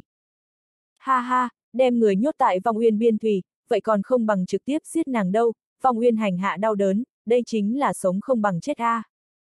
Diệp thần lo lắng, nói, cái này vong uyên biên thùy, là thiên vực nơi biên thùy. Ánh mắt của hắn sắc bén, nghe được lăng xương tiên tử lời nói, có manh mối, chính mình liền có thể thôi diễn ra một chút khuôn mặt. Hắn nhìn trộm đến, lăng xương tiên tử nói tới vong uyên biên thùy, trên thực tế chính là thiên vực nơi biên thùy, thế giới có đủ loại hắc ám, rất nhiều hắc ám sẽ dọc theo thiên địa khí mạch, chảy xuôi đến sáng thế chi thụ rễ cây phía dưới. Mà vì phòng ngừa sáng thế chi thụ bị ăn mòn sụp đổ, phản thiên tộc chế tạo có chuyên môn trận pháp, đem đại lượng hắc ám nguyên chất, bài phóng đến thiên vực biên thùy, dần ra, cái kia rất nhiều hắc ám nguyên chất, liền tạo thành vực sâu, là vì vong nguyên. Chỉ có tối côn đồ cùng hung cực ác, cùng dị đoan tín ngưỡng giả, mới có thể bị quốc sư giam giữ đến vong nguyên biên thủy bên trong. Cái này vong nguyên biên thủy, vô tận hắc ám nguyên chất sát khí hội tụ, bị giam giữ đến bên trong, ngày đêm chịu hắc ám ăn mòn dày vò khổ sở, đó đúng là sống không bằng chết. Vong uyên hắc ám càng để lâu càng nhiều, cũng là sẽ nổ tung. Diệp thần nhìn thấy truyền thuyết xa xưa, khi thế giới quy khư thời gian đến, vong uyên thì sẽ nổ, gia tốc thế giới diệt vong. Muốn đi cứu người sao? Lăng xương tiên tử cười hỏi. Diệp thần tay nắm chặt lại quyền, lại buông ra, trong lòng cân nhắc suy nghĩ lấy. Thiên cơ nhìn rõ phía dưới, hắn có thể nhìn thấy đến, cái kia phiến vong uyên, vô cùng nguy hiểm, nếu không cẩn thận trầm luân tiếp, nhất định đem vạn kiếp bất phục, tiếp nhận vĩnh viễn không cuối hắc ám giải vò. Hắn lần trước rời đi Phạn Thiên Thánh Địa sau đó không lâu, Phạn Thanh Ảnh liền đã bị giam giữ tiến vào, những ngày này thừa nhận giày vò, quả thực là thảm liệt đau đớn. Cứu hay là không cứu? Ta cảm thấy, người vẫn là đi cứu người cho thỏa đáng. Không phải là vì cứu người, mà là cứu kiếm. Lăng Sương Tiên Tử nói. Cứu kiếm. Diệp Thần nghi ngờ nói. Lăng xương thiên Tử nói, đúng vậy, người cái thanh kia phản thiên kiếm, còn tại phản thanh ảnh trên thân, nàng chết không quan trọng, vạn nhất phản thiên kiếm cũng trầm luân vong uyên, cái kia phiền phức vô cùng. Người phải đối mặt địch nhân, quả thực không thiếu, hồng quân, hồn thiên đế, quốc sư có thể cũng là tiềm tàng địch nhân, người không thể độc thân chiến đấu. Tốt nhất có thể cầm tới phản thiên kiếm, cùng phản thiên câu thông, như thế có thể ổn thỏa rất nhiều. Diệp Thần là nàng cơ thạch, nàng đương nhiên không muốn nhìn thấy Diệp Thần xảy ra chuyện. Nếu có Phạn Thiên che chở, cái kia Diệp Thần hành động, liền sẽ rất an toàn nhiều. Nhưng nghĩ vô căn cứ câu thông Phạn Thiên, không phải chuyện dễ, cần phải có môi giới, manh mối. Cái thanh kia Phạn Thiên kiếm, chính là tốt nhất môi giới cùng manh mối. Có cứu hay không Phạn Thanh ảnh, Lăng Sương Tiên Tử cũng không vấn đề gì, nàng đối với một ngoại nhân, tâm tính rất lạnh lùng, cũng không để ý hắn sinh tử. Thế nhưng Phạn Thiên Kiếm, lại là muốn đi cứu. Người có thể không cứu, kiếm nhất định phải cứu. Cái thanh kia phản Thiên Kiếm, không có bị tiêu hàn tinh cùng quốc sư cướp đi sao? Diệp thần lại hỏi. Lăng xương Tiên Tử nói, thanh kiếm kia, đã cùng phản Thanh ảnh dung hợp, muốn đoạt kiếm, nhất thiết phải trước hết giết nàng. Tiêu hàn tinh là muốn giết người, nhưng trước mắt, quốc sư lại không nghĩ giết, chỉ là đem phản Thanh ảnh tạm thời cầm tù. Có thể quốc sư là cố kỵ phản Thanh ảnh thế lực sau lưng, phản Thanh ảnh mẫu thân Thục Vân, đã cổ phạm quốc hoàng quý phi, cũng là cường hãn nhất nữ tướng, nàng thống lĩnh kim phượng vệ, một mực là trấn áp vòng uyên biên thủy chủ lực. Vòng uyên biên thủy hội tụ vô tận hắc ám nguyên chất, sinh sôi ra vô số yêu ma quỷ quái, nếu như không thêm vào trấn áp mà nói, toàn bộ Phạn Thiên Thánh Địa liền sẽ lâm vào yêu ma trong loạn thế. Phạn Thiên Thánh Địa vạn cổ đến nay, huy hoàng đường hoàng, tiên khí giạt rào, một bộ siêu nhiên thánh cảnh khí tượng, mà nghĩ giữ gìn cỗ này khí tượng cùng trật tự, nhất định phải có người gánh vác trọng trách, trấn áp hắc ám, lui tránh yêu ma, để phòng hắc ám buông xuống cùng xâm lấn. Ngô! Diệp thần do dự suy nghĩ, hắn nghĩ câu thông phản thiên, nhưng lại không cách nào vô căn cứ câu thông, nhất định phải có một cái môi giới, phản thiên kiếm chính là tốt nhất môi giới, cũng có thể là là trước mắt duy nhất môi giới. Vậy thì đi cứu A. Cứu kiếm, cũng cứu người. Diệp thần quyết định, kiếm muốn cứu, người cũng muốn cứu. Hai chúng ta hợp lực. Diệp thần nhìn xem lăng xương tiên tử, suy nghĩ lăng xương tiên tử là ánh sáng của bầu trời thần thủy tinh linh, nắm giữ điều khiển ánh sáng mặt trời thủ đoạn, nếu như toàn lực bộc phát mà nói, thực lực nhất định là phi thường khủng bố. Hắn nếu là cùng lăng xương tiên tử liên thủ, không nói quét ngang phản thiên thánh địa, ít nhất cũng có thể ứng đối đủ loại bất chắc cùng nguy hiểm. Lăng xương tiên tử lại xen lời hắn, cứu kiếm cứu người, là ngươi đi, ta không đi. Diệp thần khẽ giật mình, nói, ngươi không đi sao? Lăng xương thiên tử nói, ân, ta không đi, ta không thể làm tức giận cổ phạm quốc. Ta cùng cổ phạm quốc giữa lẫn nhau, bảo trì ăn ý, nước giếng không phạm nước sông, bọn hắn không tới trêu chọc ta, ta cũng không thể đi tổn thương người nhóm. Ta muốn làm, chỉ là tìm kiếm cơ thạch, tiếp đó sống sót. Trước lúc này, ta không có khả năng đi mạo phạm cổ phạm quốc. Cổ phạm quốc thế lực khổng lồ, là phản thiên thánh địa cường hãn nhất thế lực, lăng xương tiên tử quản lý, chẳng qua là một cái thôn xóm nho nhỏ, luận thế lực, đương nhiên không cách nào cùng cổ phạm quốc so sánh. Nàng mong muốn, cũng không phải tranh bá thiên hạ cái gì, chỉ là đơn thuần muốn sống sót. Tính mạng của nàng, trên thực tế là vô cùng yếu ớt, chỉ cần ánh sáng của bầu trời thần thủy thoáng nổi lên một tia gợn sóng, cũng đủ để đem nàng bao phủ. Diệp thần hỏi, cái kia sống sót sau đó đâu? Lăng xương tiên tử ngẩn ngơ, nhìn ra ngoài cửa sổ tinh không, tinh rủ xuống bình dã khoát, tại bao la thâm thúy tinh không làm nổi bật phía dưới, nàng cảm giác chính mình là nhỏ bé như vậy. Sau đó sao? Ta, không biết, ta thời khắc gặp phải bị nuốt hết nguy hiểm, căn bản không có tâm tư suy nghĩ những chuyện khác. Bây giờ có ngươi, ngươi trở thành ta cơ thạch, ta hải đăng, ta hẳn là có thể sống sót. Lăng xương tiên tử lại dán tới, chán nhẹ nhàng tựa ở diệp thần trên bờ vai. Nhưng sau này sinh hoạt đi, ta cho tới bây giờ không nghĩ tới. Đúng, ta tại sao muốn sống đây này, còn sống ý nghĩa lại là cái gì? Nàng tự hỏi tự nói, lâm vào sâu hơn trong ngượng ngùng. Đúng vậy a, à, còn sống ý nghĩa là cái gì đây? Diệp thần lắc lắc đầu nói, không cần nhập ma chướng, người không muốn chết, chính là sống sót ý nghĩa. Nghe vậy, lăng xương tiên tử chấn động, biểu lộ có chút phức tạp nhìn xem Diệp thần. Đích xác, nàng không muốn chết, thật vất vả mới đản sinh ra trí tuệ, từ một hạt quang tu thành hình người, nàng như thế nào cam lòng từ bỏ sinh mệnh của mình. Dừng một chút, nàng lại mỉm cười, quanh thân hiện ra điểm điểm trói mắt quang, đạo. Ta nghĩ tới một cái còn sống ý nghĩa. Đó chính là ngươi. Ngươi còn sống ý nghĩa đâu? Diệp thần nghe được câu này hỏi lại, chẳng biết tại sao, hắn đã nghĩ tới luân hồi mộ địa, nghĩ tới nhậm phi phàm, nghĩ đến thiên tổ, nghĩ tới hoa hạ, nghĩ tới kỳ tư rõ ràng, nghĩ tới thiên nữ, nghĩ tới hạ nhược tuyết, nghĩ tới rất nhiều người và sự việc. Bây giờ những thứ này người đều ở đây vì luân hồi hai chữ nỗ lực. Nhậm tiền bối càng là gánh chịu nổi thống khổ của mình, thậm chí lựa chọn đi lên một đầu có thể trông thấy cuối lộ. Có lẽ, bọn hắn chính là chính mình còn sống ý nghĩa a. Chấm. Bây giờ, tinh không bị ngạn một chỗ bên trong bí cảnh. Nhậm phi phàm đột nhiên mở mắt ra, một đạo ánh sáng đỏ tươi từ trong hai con người bắn ra, toàn bộ thế giới phảng phất tại giờ khắc này đất rung núi chuyển. Hơn nữa đạo tia sáng này phảng phất xuyên qua tầng tầng thời gian và không gian, đã tới không không lúc nào khoảng không. Hắn thấy được Diệp Thần quanh thân là từng đạo quang. Ánh sáng óng ánh. Diệp Thần tại sao cùng quang tới gần như thế? Lăng xương thiên tử. Chẳng lẽ, mắt thấy trước mặt mảnh này tu luyện tịnh thổ sắp sụp sập, hắn không nghĩ nhiều nữa. Về Trần. Nhậm phi phàm nhẹ nhàng phun ra hai chữ này, hết thảy mới dần dần bình tĩnh lại. Nhưng khóe miệng của hắn lại xuất hiện một màn đỏ thắm. Vẫn là căn cơ không đủ, nếu không có thủ đoạn khác để thăng căn cơ, dù cho thực lực cường đại, có thể giải quyết hết thảy vấn đề, nhưng tương lai Diệp Thần chiến cuộc đâu? Cao hơn cấp bậc chiến cuộc, ta cái này người hộ đạo muốn cản trở sao? Tuyệt đối không được. Đã như vậy, cũng nên đi tìm một chút huyền thanh đạo trưởng chỉ điểm đạo kia cơ duyên, chỉ mong thật có thể trợ giúp ta, cho dù là một tia. Lúc đó huyền thanh đạo trưởng tựa hồ còn đề cập tới, đạo này cơ duyên không đơn giản liên quan đến với hắn, càng liên quan đến bây giờ luân hồi chi chủ. Chỉ là không biết bên trong đến tột cùng có cái gì đang đợi ta. Thôi, lấy bây giờ thực lực của ta, dù là ra ít nguy cơ, một kiếm chém chết liền có thể. Nhậm phi phàm vung tay lên, một đầu cự kình chậm rãi phù mà ra. Hình thể của nó vô cùng to lớn, phảng phất một tòa di động đảo nhỏ, kình khoác trên người che kín giống như phỉ thúy trong suốt lân phiến, lưu quang tránh co lại, sóng nước lấp loáng, tản mát ra hào quang chói sáng, càng lớn có lôi điện vần quanh quanh thân. Cự kình ánh mắt thâm thúy, giống như hai khỏa sâu không thấy đáy hắc bảo thạch, lộ ra thần bí trang nghiêm thần thái. Siva cho ta cưỡng ép tăng cao thực lực chỗ tốt, cái này ngược lại tính một cái, cái này biến thành cự kình tọa kỵ, ngược lại là đủ để cho ta vượt qua hết thảy. Chấm. Chấm.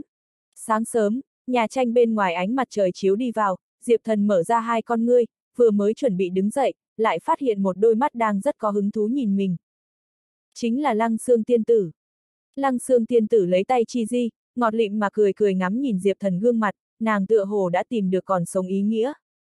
Diệp Thần cùng nàng ẩn giật tu luyện, đối với đại đạo cảm ngộ, cũng là tinh thâm rất nhiều, hắn cảm giác tu vi của mình, khoảng cách chân chính thiên đế cảnh, đã đến gần vô hạn, còn kém một cơ hội.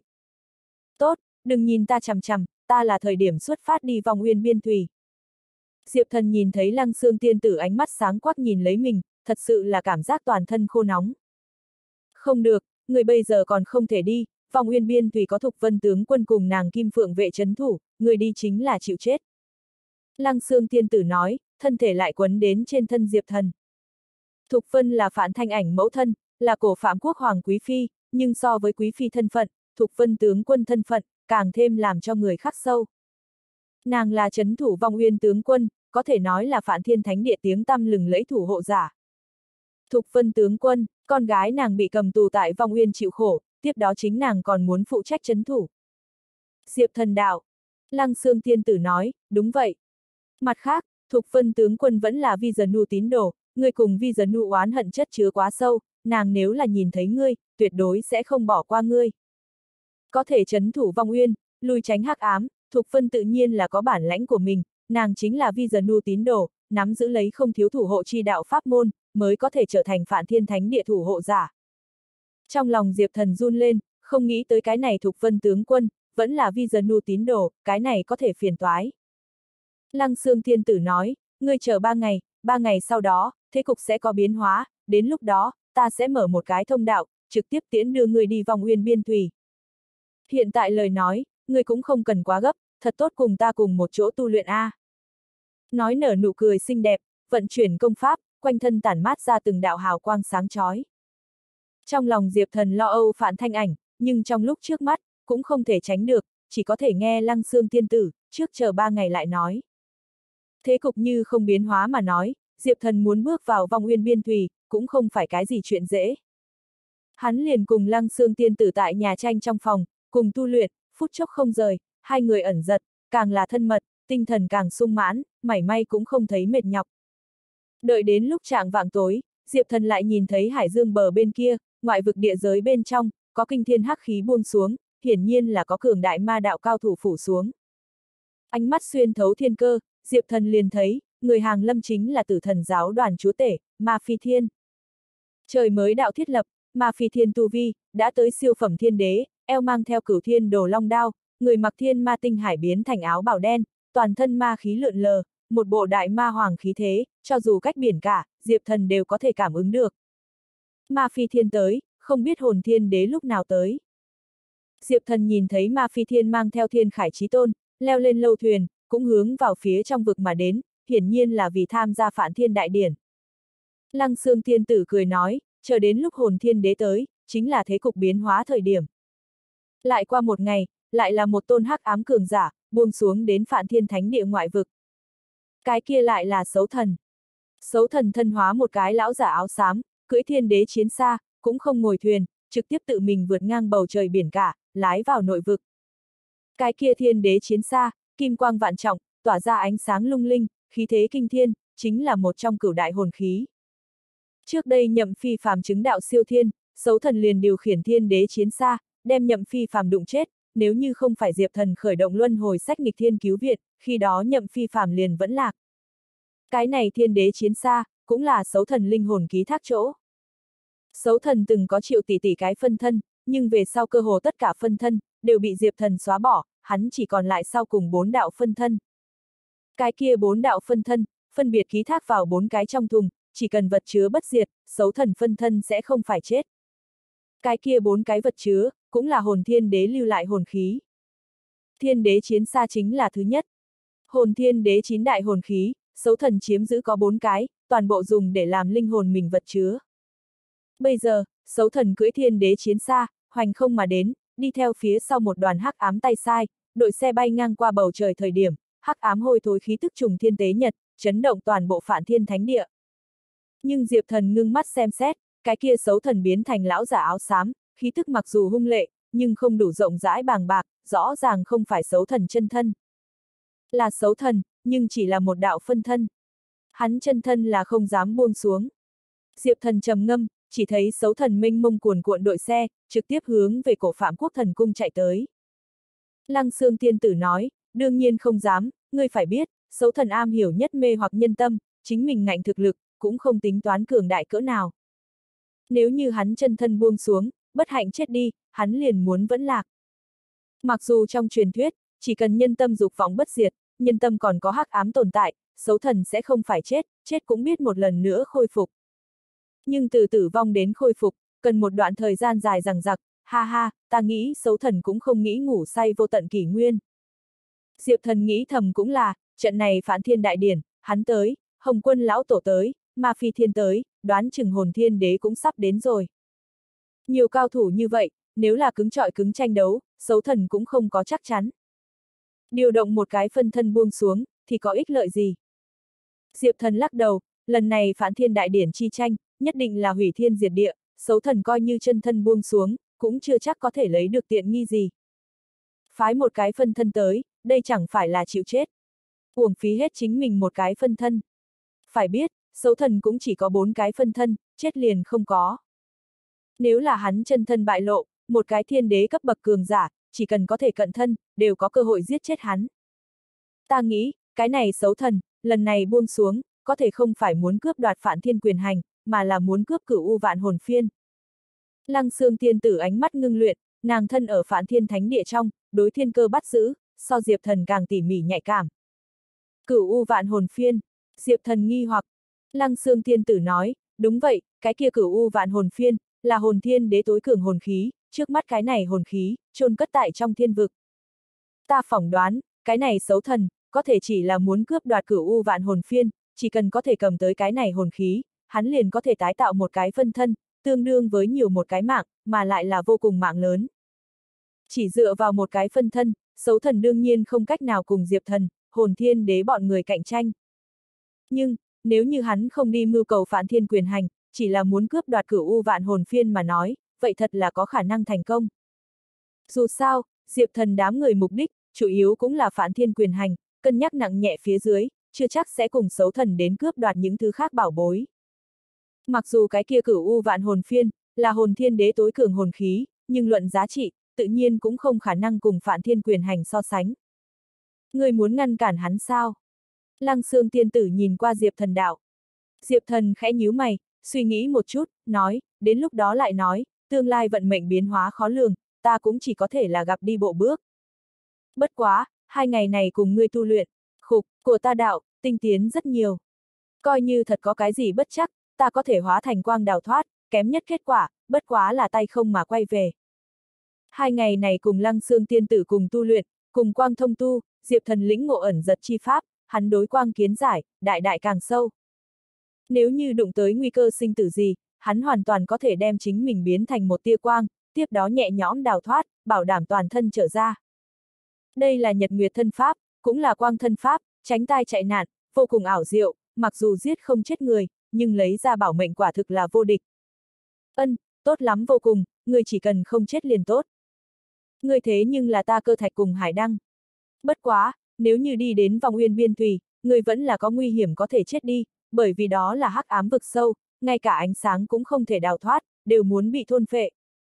Phong uyên biên Thùy là phản thiên thánh địa tuyệt đối cấm địa, cũng là hắc ám nhất chỗ khủng bố, vô tận kỷ nguyên đến nay, sáng thế chi thụ hắc ám nguyên chất cùng ô uế, đại lượng bài phóng đến vong Uyên địa giới, làm cho cái kia mảnh đất giới, trầm tích vô số tội nghiệt. Đây là một cái duy nhất, có khả năng để cho Diệp Thần nơi ngã xuống. Hồn thiên đế mau tới, chờ hắn tới, thế cục liền sẽ có biến hóa, đến lúc đó, ta sẽ tiến đưa ngươi đi vòng nguyên biên thủy, chính ngươi cẩn thận một chút. Lăng Sương Tiên Tử nói. Hảo. Diệp Thần gật đầu, tiếp tục cùng Lăng Sương Tiên Tử cùng tu luyện, đợi đến ngày thứ ba thời gian, Lăng Sương Tiên Tử nói tới thế cục biến hóa, cuối cùng đến.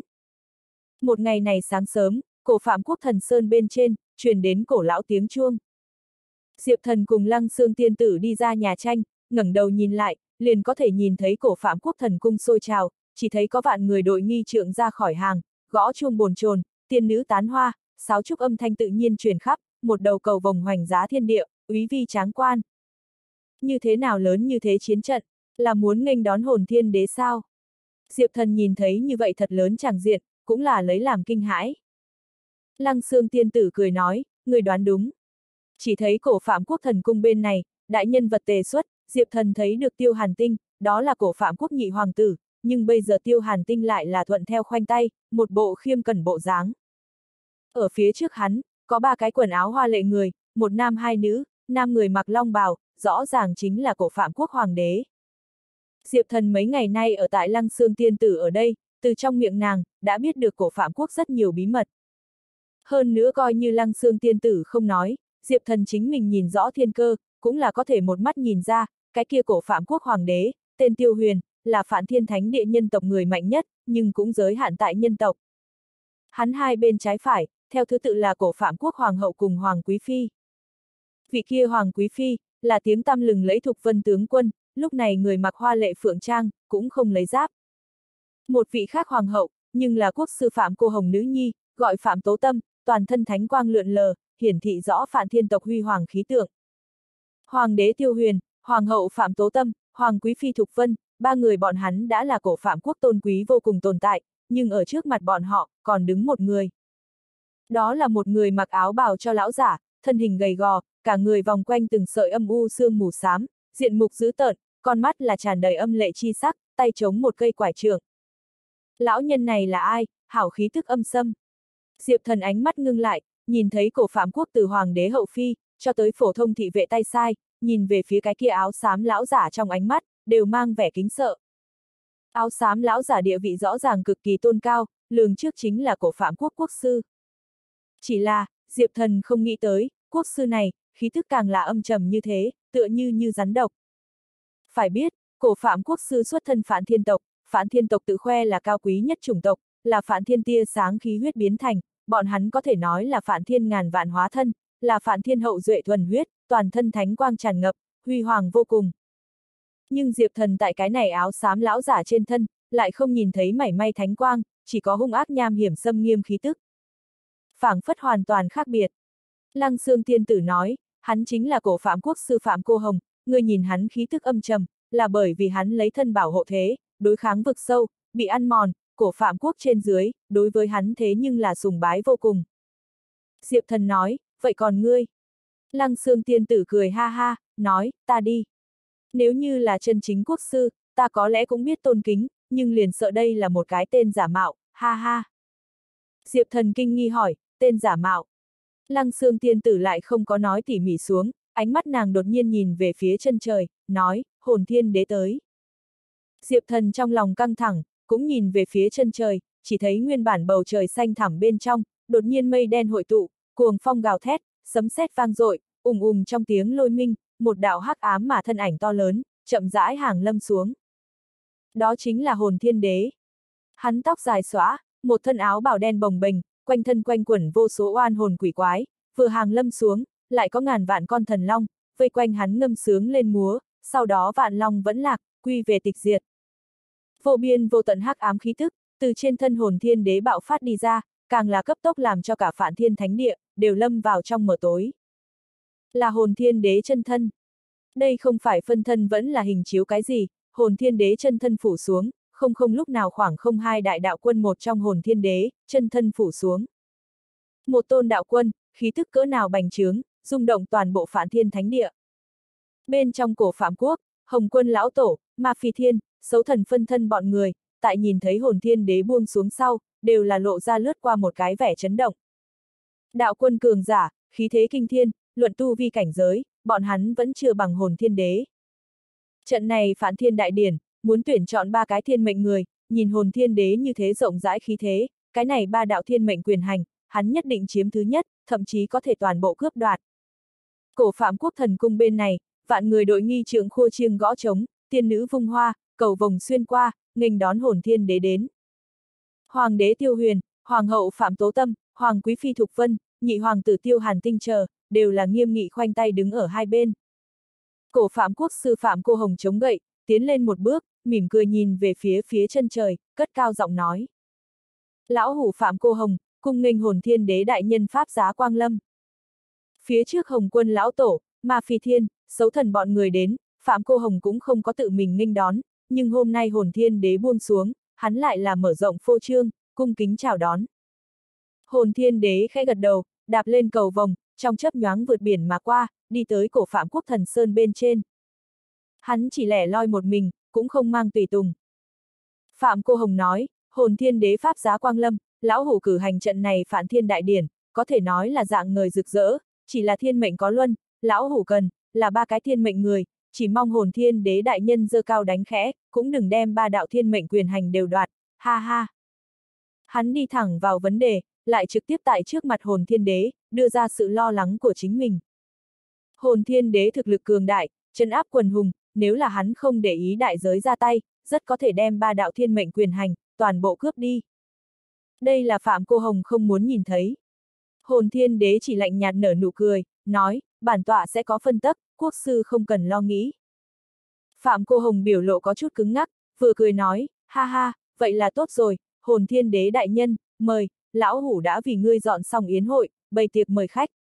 Nói xong liền làm một cái mời thủ thế. Hồn thiên đế gật gật đầu, đi theo Phạm Cô Hồng bước vào trong thần cung. Cơ hội tới.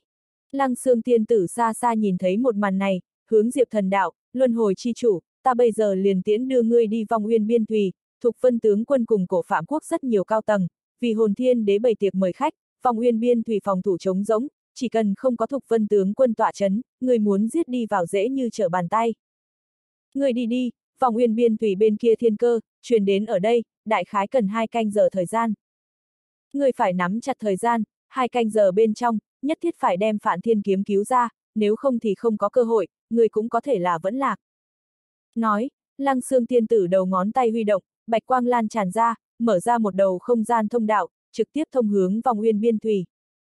Người có cứu hay không không quan trọng, kiếm là muốn cứu, lăng xương thiên tử kiêng kỵ, cũng chỉ là thục vân tướng quân, chỉ cần không có thục vân tướng quân ngăn cản, lấy diệp thần thực lực, muốn cứu người cũng không khó. Nếu như người thực sự đụng tới không giải quyết được nguy cơ, có thể kêu gọi tên của ta, ta sẽ buông xuống giúp ngươi. Dừng một chút, lăng xương tiên tử lại nói, nàng tự nhiên không muốn nhìn thấy diệp thần vẫn lạc, diệp thần thế nhưng là nàng cơ thạch cùng hải đăng, nếu như Diệp Thần thật có nguy hiểm, nàng cũng biết mạo hiểm ra tay. Hảo! Diệp Thần cũng không nói nhảm, trực tiếp bước vào không gian thông đạo, đi tới vòng uyên biên thùy. Bạch quang lấp lóe, Diệp Thần thân hình tại chỗ biến mất. Mà tại Diệp Thần truyền tống đi vòng uyên biên thủy đồng thời, cổ Phạm Quốc bên trong thần cung, đang tại thiết hiến khoản đãi hồn thiên đế Phạm Cô Hồng, sắc mặt lại hơi đổi. Hắn nhíu chặt lông mày, như có điều suy nghĩ, tựa hồ phát hiện cái gì, hướng tiêu hàn tinh vẫy tay. Tiêu hàn tinh trong lòng căng thẳng, đi tới Phạm Cô Hồng trước mặt, tôn kính kêu một tiếng, quốc sư. Phạm Cô Hồng ghé vào lỗ tai hắn thấp giọng nói vài câu, lại kín đáo đưa cho hắn một tấm đen như mực linh phù. Tiêu hàn tinh lập tức sắc mặt đại biến, ánh mắt thoáng qua đủ loại thần tình phức tạp, gật đầu một cái, thu hồi linh phù lui xuống.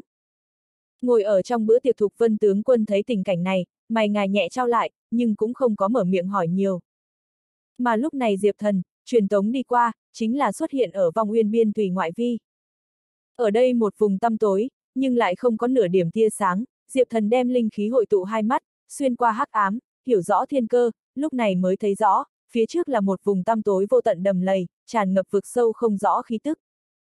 Nơi này chính là vòng uyên biên thủy sao. Diệp thần nhẹ giọng thì thào, cẩn thận quan sát, phát hiện mình không trên đất bên trên, mà là tại trên trời. Ánh mắt xuyên thấu tiếp, Diệp thần có thể nhìn đến Phạn thiên thánh địa ngay tại phía dưới, mình tại trên trời, tại trong thiên vực. Mảnh này vong uyên biên Thùy chính là thiên vực nơi biên thùy, Thiên vực quanh năm phong bế, tại thiên vực còn chưa mở phóng phía trước, Diệp Thần cũng khó có thể tiến vào thiên vực hạch tâm địa bàn, bất quá vòng Uyên biên thủy cũng không cấm chế, cho nên lăng xương tiên tử có thể nhẹ nhõm đem hắn đưa tới. Trong truyền thuyết sáng thế chi thụ, ngay tại trong thiên vực, là sáng thế chi thụ sinh cơ linh khí, dựng dục phản thiên thế giới ban sơ sinh mệnh, phản thiên thế giới khí tức thiên địa, cũng biết trả lại đến trong sáng thế chi thụ. Phản thiên thế giới khí tức thiên địa, có linh uẩn, cũng có hắc ám ô uế, linh khí bổ dưỡng sáng thế chi thụ, để cho chi lớn lên phải càng thêm xanh tươi, nhưng đủ loại hắc ám dơ bẩn chảy trở về, lại để cho sáng thế chi thụ dễ cây, không ngừng gặp ăn mòn. Nếu như dễ cây ăn mòn quá nghiêm trọng mà nói, cái kia sáng thế chi thụ căn cơ hủ diệt, cả cái cây cũng sẽ ngã phía dưới. Cho nên, vì tịnh hóa sáng thế chi thụ, phòng ngừa hắc ám ăn mòn, phản thiên thánh địa trong, phản thiên tộc cùng thụ thần tộc người, liên thủ chế tạo đủ loại trận pháp, đem thế giới chảy trở về mà đến hắc ám, bài phóng đến biên tùy bên trong, dần già liền tạo thành một mảnh thối giữa đầm lầy, là vì vong uyên. Diệp thần chỉ cảm thấy hô hấp trệ tắc nghẽn, mảnh này vong uyên biên thùy, đầm lầy vũng bùn tản mát ra từng trận hôi thối, không ngừng trưng hun tới, mười phần gai mũi. Diệp thần dứt khoát ngừng thở, đem lỗ chân lông cũng đóng lại, chỉ thấy vong uyên biên thủy lối vào, có mấy cái người mặc khôi giáp vệ binh đang tuần tra. Mảnh này vong uyên biên thủy, hắc ám khí thức mười phần mãnh liệt, thiên đế cường giả đến gần, đều muốn bị ăn mòn thành bạch cốt, thế nhưng mấy cái vệ binh, khôi giáp trên người, tựa hồ điêu khắc có đặc thù thủ hộ phù văn, Diệp Thần nhận ra, đó là vi giờ nu thủ hộ phù văn. Tại khôi giáp này bảo vệ dưới, bọn hắn cũng không có bị bóng tối ăn mòn. Ai? Mấy cái kia vệ binh, rõ ràng có thể trong bóng đêm quan sát, lại phát hiện Diệp Thần, phóng tới ánh mắt xâm lãnh. Dạ Hoàng Kinh, ẩn đột. Diệp Thần thấy thế, lập tức thi triển dạ Hoàng Kinh, thân cùng hắc ám hòa làm một thể, tại chỗ giống như hư không tiêu thất, ẩn trốn vào trong bóng tối. Biến mất, làm sao có thể? Mấy cái kia vệ binh hoảng hốt, có người kêu lên, mau gọi kim phượng vệ. Lời còn chưa dứt, mấy người bọn họ toàn bộ kêu lên một tiếng, mềm cúi xuống ngã xuống đất đã hôn mê. Diệp thần lại hiện thân đi ra, tay nắm lấy quyết, lại là hắn vừa mới thi pháp, thi triển mộng yểm thuật pháp, để cho mấy cái này vệ binh, đều lâm vào trong lúc ngủ mơ. Hắn cũng không có giết người, chủ yếu là sợ máu tươi thiên cơ khuếch tán. Tại giải quyết hết mấy cái này vệ binh sau, Diệp Thần lại thi triển dạ hoàng kinh, thân dung vào trong bóng tối, lặng yên không tiếng động tiến lên, hướng vòng uyên thâm sử tiến phát. Phản thanh ảnh, phản thiên kiếm, quả nhiên đều ở nơi này. Tiến nhập Phong uyên, Diệp Thần có thể rõ ràng bắt được phản thanh ảnh cùng phản thiên kiếm khí tức, người khí tức yếu ớt, kiếm khí tức ngược lại là tương đương mãnh liệt. Bất quá chẳng biết tại sao, hắn luôn cảm giác có nguy cơ giấu ở phía sau mình. Là ai? Chẳng lẽ nói bị phát hiện? Diệp thần không nghĩ nhiều nữa, trước tiên dọc theo khí tức truyền ra chỗ, tiếp tục thâm nhập sâu tiến lên. Chấm. Mà liền tại Diệp thần rời đi không bao lâu chỗ, một thanh niên chậm rãi nổi lên. Thanh niên bên hông có một thanh kiếm, sau lưng mang theo một thanh kiếm, thực sự có chút kỳ quái. Hắn tự nhiên chính là mộ dung u. Mộ dung u đỉnh đầu có một cái cổ quái hắc ngọc lơ lửng, hắc ngọc lóe ra từng đạo gợn sóng, phảng phất đem hắn ngăn cách bởi phiến khu vực này. Thậm chí so diệp thần dạ hoàng kinh còn thần kỳ. Ta liền đoán được cái này luân hồi chi chủ nhất định sẽ tới cứu người. Đợi nhiều ngày như vậy, còn tưởng rằng ngươi không tới chứ. Bất quá hồn thiên đế cũng tới, bàn cờ này ngược lại là càng ngày càng có ý tứ. Nếu là lần này có cơ hội, mà người thi thể hiến tặng cho sư tôn cũng không tệ. Đương nhiên, có lợi nhất cục diện, là ta thôn phệ nhục thể của ngươi, thay thế ngươi trở thành luân hồi chi chủ, đến lúc đó, sư tôn lại tính là cái gì? Ta mộ dung u vĩnh viễn không có khả năng trở thành người khác công cụ. Nói xong câu đó, mộ dung u đỉnh đầu hắc ngọc hơi hơi lấp lóe, gợn sóng phảng phất hòa vào phiến khu vực này. Chấm. Bây giờ. Giống. Vong uyên bên trong, thỉnh thoảng truyền đến hung thú ma vật gào thét, diệp thần dưới chân đường nhỏ hai bên, chính là từng mảnh từng mảnh đầm lầy vũng bùn, những thứ này vũng bùn ít nhất đều có ngàn trượng sâu, chính là từng cái vực sâu kinh khủng, vô tận ô uế hắc ám khí thức hội tụ, sinh sôi ra rất nhiều hung thú ma vật, tàn phá bừa bãi gào thét, làm người sợ hãi. May mắn Diệp Thần dạ hoàng kinh thần thông huyền diệu, cơ thể một dung nhập hắc ám, cũng không có cái gì hung thú ma vật phát hiện hắn. Hắn tiến vào vòng uyên thâm sử, lại nhìn thấy có không ít vệ binh tuần tra, những vệ binh này lại là nữ tử, người mặc điêu khắc phượng hoàng giáp trụ, toàn thân tràn ngập ra bảo vệ kim quang, nghĩ đến chính là thuộc vân tướng quân dưới quyền kim phượng vệ, có vi giờ nu chúc phúc. Cuối cùng, Diệp Thần một đường tiến lên, đi tới phản thanh ảnh khí tức phát ra chỗ, liền thấy một chỗ đầm lầy vũng bùn bên trong, đứng thẳng một cây trụ, trên cây cột cột một nữ tử, chính là Phạn thanh ảnh không tệ. Chỉ thấy Phạn thanh ảnh bị trói tại trên cây cột, sợi tóc lộn xộn, toàn thân quần áo rách mướp, đầm lầy vũng bùn bên trong, không ngừng có từng cái màu đen rắn độc bò lên, tê tê thổ tín, leo đến trên người nàng, ở trên người nàng cắn một cái lại tuột xuống xuống. Ân, a, à, không cần. Phạn thanh ảnh phát ra đau đớn rên rỉ yếu ớt, trên thân bò đầy rắn độc, nhìn phi thường khủng bố, cũng vô cùng thảm liệt, quần áo sớm bị cắn nát, lộ ra bên trong nát giữa đỏ lên da thịt. Vũng bùn bên cạnh, có mười mấy cái kim phượng vệ chú đóng, sắc mặt như như pho tượng lãnh thịch, mảy may cũng không để ý Phạn Thanh Ảnh chết sống. Phạn Thanh Ảnh bị trói ở đây, không biết đã nhận lấy hành hạ bao lâu, vô số đầu rắn độc không ngừng gặm nuốt cắn xé nàng, theo lý mà nói, nàng hẳn là phải chết, nhưng hết lần này tới lần khác bây giờ còn sống, hơn nữa tinh thần còn duy trì thanh tỉnh. Diệp thần trong lòng run lên, biết là phản Thiên kiếm thủ hộ chi công. phản Thiên kiếm ngay tại trong cơ thể của phản Thanh Ảnh, nếu như không có thanh kiếm này bảo vệ, nàng đã sớm chết. Bất quá tiếp nhận thảm liệt như vậy dày vò, vậy thật là không bằng chết giải thoát. Người quốc sư kia thực sự là tàn nhẫn, như thế dày vò nàng, chẳng bằng đem nàng giết. Diệp thần tâm niệm chuyển động, bây giờ tự nhiên là muốn cứu người.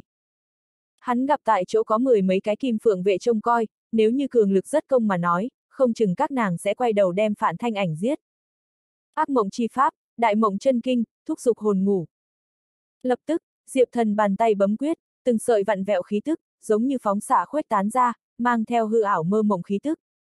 Đây là hắn ác mộng chi đạo, đại mộng chân kinh bên trong thủ đoạn, có thể thôi miên nhập mộng, để cho người ta lâm vào trong lúc ngủ mơ. Liền giống như một hồi từng cơn gió nhẹ thổi qua, cái kia mười mấy cái kim phượng vệ, đều là khẽ giật mình, nhưng không có như Diệp Thần dự đoán như thế ngã xuống, ngược lại toàn bộ nghiêm nghị cảnh giới đứng lên. Là ai? Ai tại giả thần giả quỷ? Một đám kim phượng vệ gầm lên, ánh mắt nhìn khắp bốn phía, trong lúc nhất thời mặc dù không có phát hiện Diệp Thần chỗ, nhưng đã cảm thấy khí tức nguy hiểm. Ở đây, đột nhiên, một cái kim phượng vệ hình như có cảm giác, trong tay trường kích đâm ra, mãnh liệt hướng ẩn thân trong bóng tối Diệp Thần đâm tới. Diệp Thần trước người khí lưu bị xé nát, thân hình hắn lập tức bạo lộ ra, mắt thấy đến cái kia kim phượng vệ trường kích đâm tới, sắc mặt hắn trầm xuống, đành phải ra tay, nghiêng người tránh một cái, lại bắt được báng kích, dùng sức kéo một cái. Cái kia kim phượng vệ bị mang theo ngã tới, Diệp Thần đầu gối va chạm, đụng vào nàng bụng dưới, nàng kêu lên một tiếng ngã xuống đất hôn mê. Kim phượng vệ mặc trên người có thủ hộ khôi giáp, tự thân tu vi cũng cường hãn, Diệp Thần mộng yểm thuật pháp, không cách nào đưa các nàng mê choáng. Nhưng cận thân bác đấu phía dưới, Diệp Thần tự nhiên có thể nhẹ nhõm đem chế phục. Là luân hồi chi chủ. Trung quanh kim phượng vệ kinh hãi, nhận ra Diệp Thần, thoáng chốc liền biết, Diệp Thần là tới cướp ngục, muốn cứu đi phản thanh ảnh. Suy suy suy. Lập tức, một đám kim phượng vệ dậm chân vào tới trước, trận thế nghiêm mật, từng cây sắc bén trường kích, từ bốn phương tám hướng mãnh liệt hướng Diệp Thần đâm tới. Diệp Thần không tránh không né, ngón tay cấp tốc điểm ra, cửu thiên tù thần chỉ. Hắn thi triển cửu thiên tù thần chỉ, dùng tốc độ cực nhanh, điểm tại trên một đám kim phượng vệ huyệt khiếu, chúng nữ lập tức như như pho tượng cứng ngắc tại chỗ, không thể động đậy, như bị cầm tù. Đây là cửu thiên tù thần chỉ cầm tù chi lực. Diệp thần tại luyện hóa ma ngục mệnh tinh khóa chi mảnh vụn sau, đối với phong tỏa pháp tắc lĩnh ngộ, đại đại càng sâu, phối hợp thêm cửu thiên tù thần chỉ điểm dùng, một chỉ điểm ra, liền có thể phong cấm nhân thể, làm cho không người nào có thể chuyển động. chanh chanh chanh Diệp thần điểm huyệt thời điểm, kim phượng vệ từng cây trường kích, cũng ám sát đến trên người hắn, nhưng hắn kim cương bất hủ thể đại thành, luân hồi pháp cũng đại thành, lại thêm vi giờ nu thạch tâm thủ hộ pháp, đủ loại thủ hộ đại đạo phối hợp phóng ra kim quang, tạo thành một tầng hộ thể cương khí. Một đám kim phượng vệ trường kích ám sát, đâm vào trên diệp thần hộ thể cương khí, không thể động phá một chút, ngược lại mũi kích đều bị chấn sai lệch. Lấy diệp thần thực lực trước mắt, siêu phẩm thiên đế phía dưới, không đả thương được hắn một đầu lông tơ. Kim phượng vệ chúng nữ trợn mắt hốc mồm, như như pho tượng không cách nào chuyển động, vô cùng kinh ngạc nhìn xem diệp thần, nào nghĩ tới diệp thần tu vi, lại cường hãn đến nước này. Luân hồi chi chủ, ngươi thế mà tới cứu ta.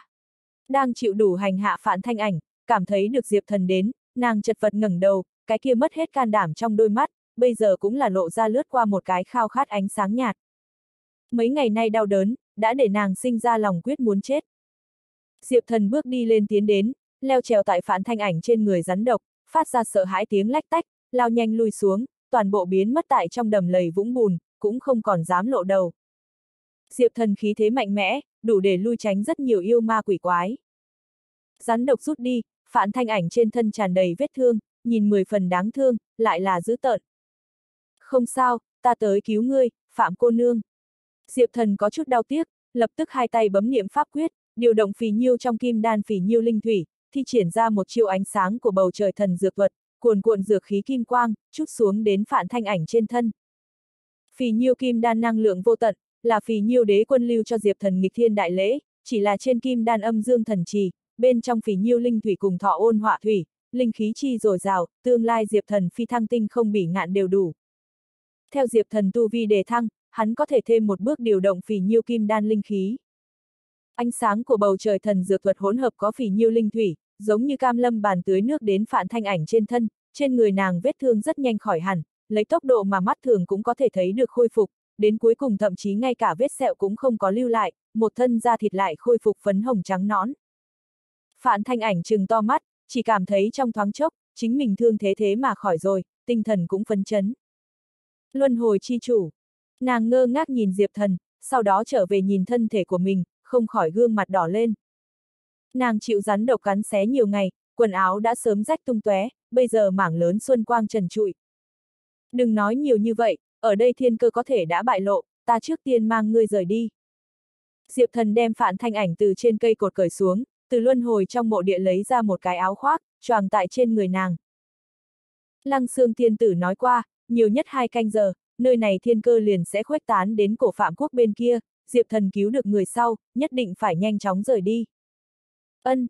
Phạn thanh ảnh gật gật đầu, rốt cuộc đến tự do, đi theo Diệp thần tiến lên, nhưng đi chưa được hai bước, nàng liền kêu lên một tiếng, cước bộ một chút lảo đảo, cơ hồ té ngã, trên mặt lộ ra vô cùng khó chịu thần sắc. Như thế nào? Diệp thần thấy thế, sầm mặt lại, ẩn ẩn cảm giác không đúng, đỡ phản thanh ảnh, tại nàng mạch đập quan sát, lập tức liền cảm thấy thân thể nàng chỗ sâu, lắng động lấy một cỗ phi thường khủng bố hắc ám khí tức. Thật là khủng khiếp vực sâu khí tức. Xem ra, ta vẫn đánh giá thấp mảnh này vong uyên biên thùy. Phản thanh ảnh bị giam giữ ở đây, nhận hết giày vò, vừa mới Diệp Thần mặc dù dùng y thuật thay nàng trị liệu thương thế, nhưng vết thương ngoài ra thế năng trị liệu, nội thương cũng không dịch khôi phục. Vong uyên biên thủy đủ loại hắc ám ô uế khí tức, đã sớm xâm nhập phản thanh ảnh tim phổi, tại trong cơ thể nàng lắng động thành vực sâu, như một cái động lại độc đầm, khó mà trừ khử.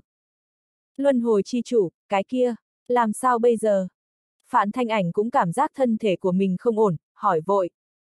Diệp thần do dự một chút, nói, bằng vào ta y thuật, lại phối hợp luân hồi chi đạo chúc phúc, hẳn là cũng có thể hóa giải, nhưng ít ra cần 7 ngày thời gian, đi ra ngoài trước rồi nói a. À. Lấy Diệp thần trước mắt thủ đoạn, muốn hóa giải phản thanh ảnh triệu chứng, cũng không tính quá khó khăn, chỉ là phải tiêu hao chút thời gian. Phản thanh ảnh ừ một tiếng, liền đi theo Diệp thần đi ra ngoài. Những cái kia bị giam cầm kim phượng vệ, mấy người thời gian qua tự nhiên sẽ khôi phục tự do. Cũng không biết vì cái gì, Diệp thần đi vài bước, lại cảm giác được một loại đặc thù cảm giác. Cái kia phảng phất là bị rắn độc để mắt tới. Càng quan trọng chính là, còn không phải một đầu đánh cược rắn độc. Chẳng lẽ còn có người? Là cổ phạm quốc người, vẫn là nói một người khác hoàn toàn. Diệp thần nhắm đôi mắt lại, mấy tức sau đó, đột nhiên mở ra, nhìn về phía một cái phương hướng, sát cơ bại lộ. Mộ dung u. Diệp thần có chút ngoài ý muốn, nhưng cũng có chút không xác định. Vừa mới hắn phảng phất nhìn thấy một cái người đeo hai kiếm nam tử, khí tức ngược lại là cùng mộ dung u cũng rất tiếp cận. Nhưng người này thực lực sao có thể xuất nhập ở đây? Hơn nữa không bị phát hiện. Nếu không phải là mình cảm giác nhạy cảm, chỉ sợ căn bản không phát hiện được. Bất quá mộ dung u tựa hồ cùng tinh không bị ngạn có chút liên hệ, chỉ sợ trên người có không đơn giản pháp bảo, nếu dạng này cũng có thể giảng giải. Gia hỏa này thật sự muốn giúp ta, vẫn là nói, hắn muốn làm cái kia cái gọi là ngư ông, để cho ta cùng cổ phạm quốc hay là hồn thiên đế ngao cỏ tranh nhau. Diệp thần không nghĩ nhiều nữa, bởi vì hắn còn có một loại đặc thù cảm giác. Đó là vực sâu cảm giác, phảng phất có quỷ thần ánh mắt nhìn mình chằm chằm. Nhiễu sóng. Thôi, trước tiên mang nàng ra ngoài. Hai người tại trong hắc ám vòng uyên tiến lên, dần dần thấy được quang, cái kia biểu thị vong uyên cửa ra vào sắp tới. Nhưng ở lối ra kia trong ánh sáng, lại có một bóng người, từ xa đến gần nhanh chân đi đi vào, một cỗ xâm nghiêm khí tức cũng tại cấp tốc tới gần. Luân hồi chi chủ, người muốn mang ta tam muội đi nơi nào? Một đạo lạnh lùng tiếng cười vang lên, chỉ thấy một cái nam tử đi đến, khóe miệng mang theo lãnh khốc đường cong, bước chân dừng lại, trên thân thiên đế kim quang nở rộ, chiếu rọi vong uyên, đem chung quanh hắc ám đều xua tan.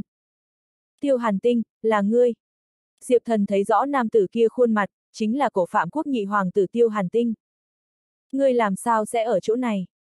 Diệp thần chỉ cảm thấy không thể tưởng tượng nổi, theo lý mà nói, thiên cơ muốn sau hai canh giờ, mới có thể khuếch tán đến cổ phạm quốc bên kia, nhưng bây giờ Tiêu Hàn Tinh lại xuất hiện.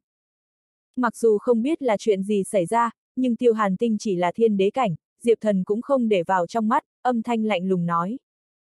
Không muốn chết liền cút đi, ngươi không phải địch thủ của ta.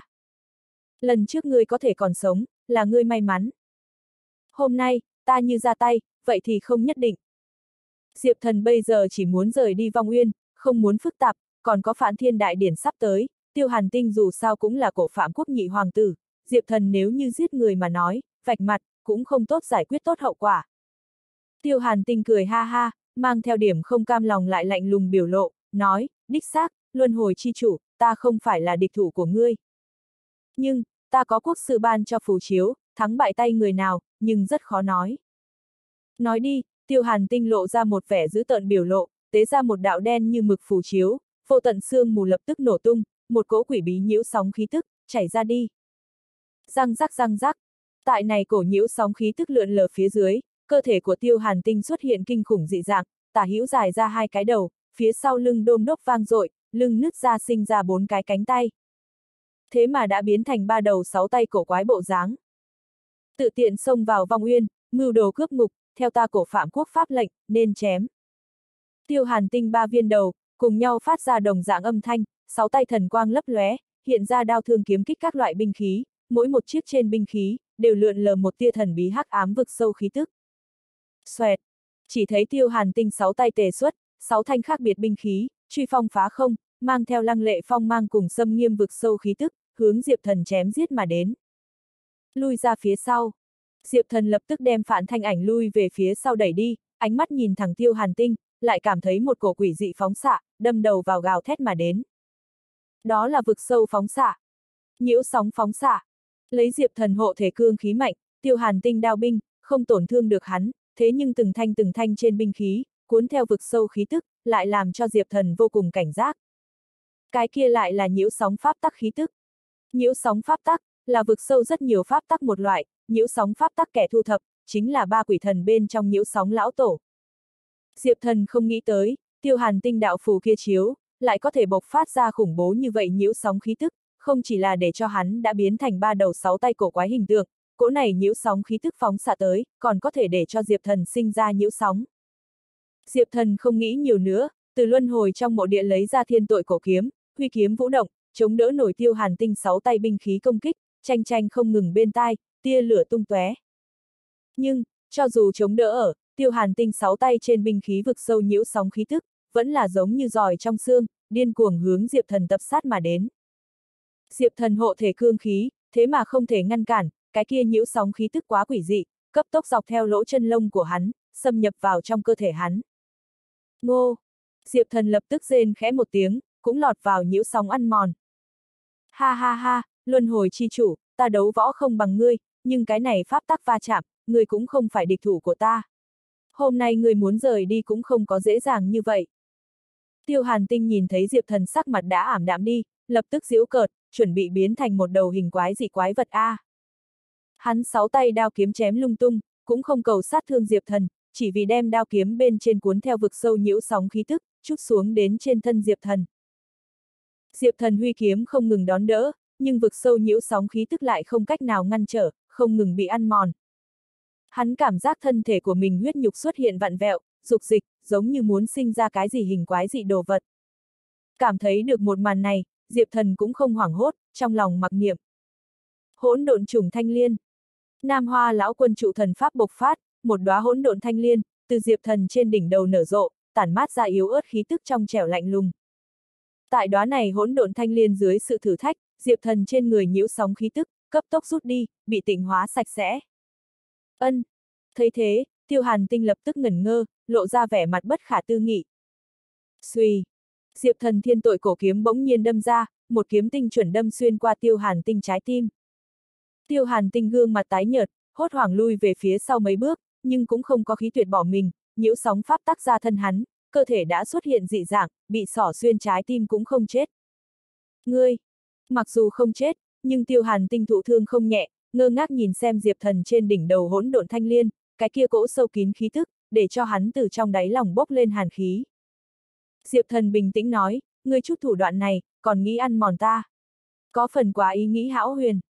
Gọi nhiễu sóng lão tổ tự mình đến A, ta không nghĩ tới, thì ra vị quốc sư kia, chính là nhiễu sóng lão tổ A. Tự tiêu hàn tinh vừa mới sử dụng phù chiếu bên trong, Diệp thần bắt được thiên cơ, nhìn thấy đến sau lưng nhân quả, thì ra vị kia phản thiên tộc tộc trưởng, cổ phạm quốc quốc sư phạm cô hồng, chính là trong ba quỷ thần nhiễu sóng lão tổ. Tiêu hàn tinh lại cắn răng nói, người nói hưu nói vượn thứ gì, quốc sư đại nhân như thế nào lại là nhiễu sóng lão tổ. Hắn trước kia lấy thần trấn áp nhiễu sóng lão tổ, nhận lấy chút phản phệ, nhưng cũng cướp lấy nhiễu sóng lão tổ không thiếu quyền hành.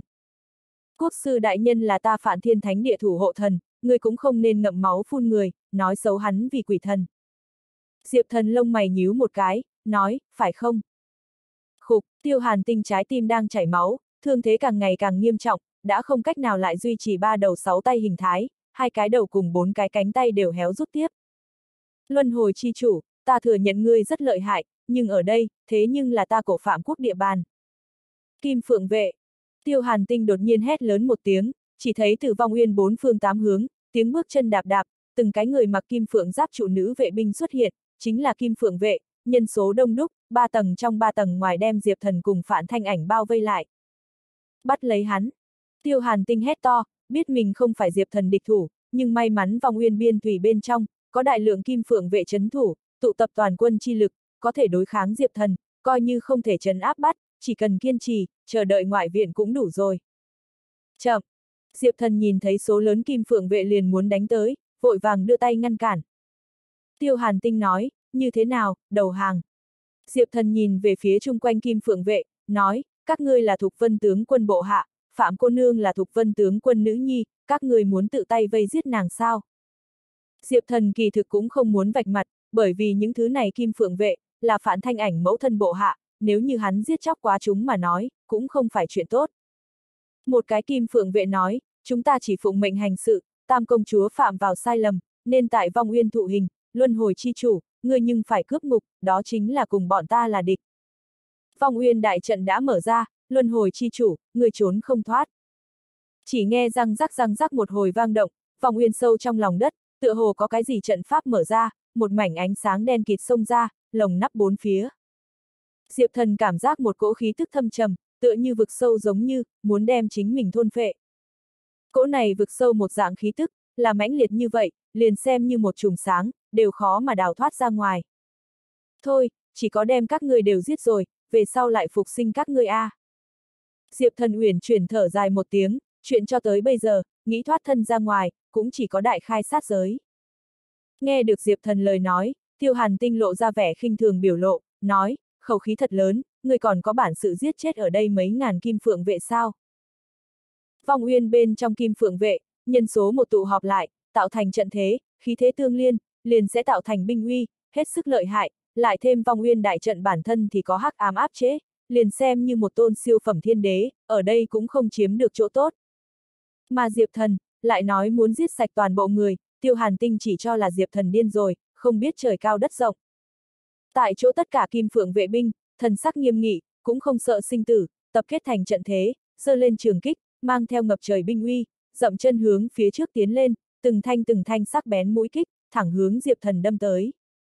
Đế rơi vũ trụ, mở. Diệp Thần không chút hoang mang, tay bóp quyết, ông một tiếng, một cỗ hắc ám thâm thúy khí tức, lập tức từ trong cơ thể hắn lan tràn ra. Bốn phía đại địa, xuất hiện biến hóa kinh người, thế mà đã biến thành một cái lỗ đen thật lớn vòng xoáy, có ánh sao lấp lánh, tựa như là một mảnh vũ trụ tinh không, đột ngột in vào đại địa bên trên, đại địa không thấy, bị đen như mực vô ngần thâm thúy vũ trụ thay thế. Đó là đế rơi vũ trụ. Vong uyên đại trận như thế nào phá giải, Diệp Thần không biết, cũng không cần phá giải, hắn có biện pháp tốt hơn, đó chính là dùng đế rơi vũ trụ, đi bao trùm vong uyên, bao trùm đại trận. Đế rơi vũ trụ bao trùm trên mặt đất, vong uyên đại trận bỗng chốc bị che giấu áp chế, cái kia cũng ngay cả tia sáng cũng có thể thôn vệ khí thức khủng bố, lập tức tiêu tán.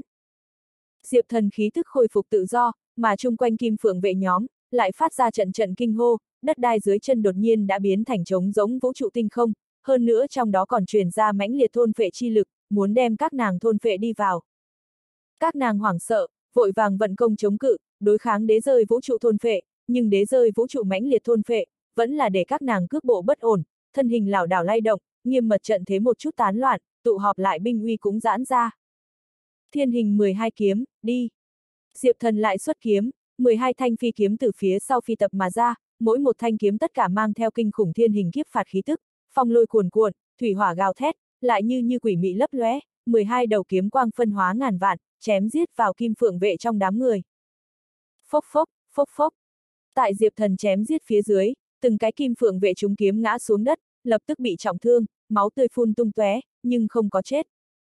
A, à, Diệp Thần có chút ngoài ý muốn, cho là mình thiên hình kiếm ra, cũng có thể giết hết toàn trường, không nghĩ tới những thứ này kim phượng vệ, lại có thể ngăn cản. Xem ra là vì giờ nu thủ hộ chúc phúc. Diệp Thần nghĩ thầm, hắn kỳ thực cũng không muốn lạm sát, lập tức liền đem thụ thương kim phượng vệ, toàn bộ hút vào đế rơi trong vũ trụ, trước tiên nhốt lại. Trong chớp mắt, toàn trường tất cả kim phượng vệ, liền bị Diệp Thần đế rơi vũ trụ, thôn vệ hầu như không còn. Một màn này nhìn, Diệp Thần đế rơi vũ trụ, giống như là một đầu vực sâu cự thú, mở ra huyết bồn đại khẩu, thôn vệ thế gian hết thảy sinh linh đồng dạng, nhìn phi thường khủng bố. Phản thanh ảnh ngơ ngác nhìn xem một màn này, vừa mới vẫn là binh uy vĩ đại kim phượng vệ nhóm, càng là trong khoảnh khắc bị Diệp Thần cắn nuốt hết, một màn này thật là đáng sợ. Nàng có Diệp Thần che chở, ngược lại là không có bị đế rơi vũ trụ nuốt lấy, nhưng đã là người đổ mồ hôi lạnh. Tiêu Hàn Tinh cũng là trợn mắt hốc mồm, hắn phi thân lên, không thể tưởng tượng nổi nhìn trước mắt một màn, kinh dị kêu lên.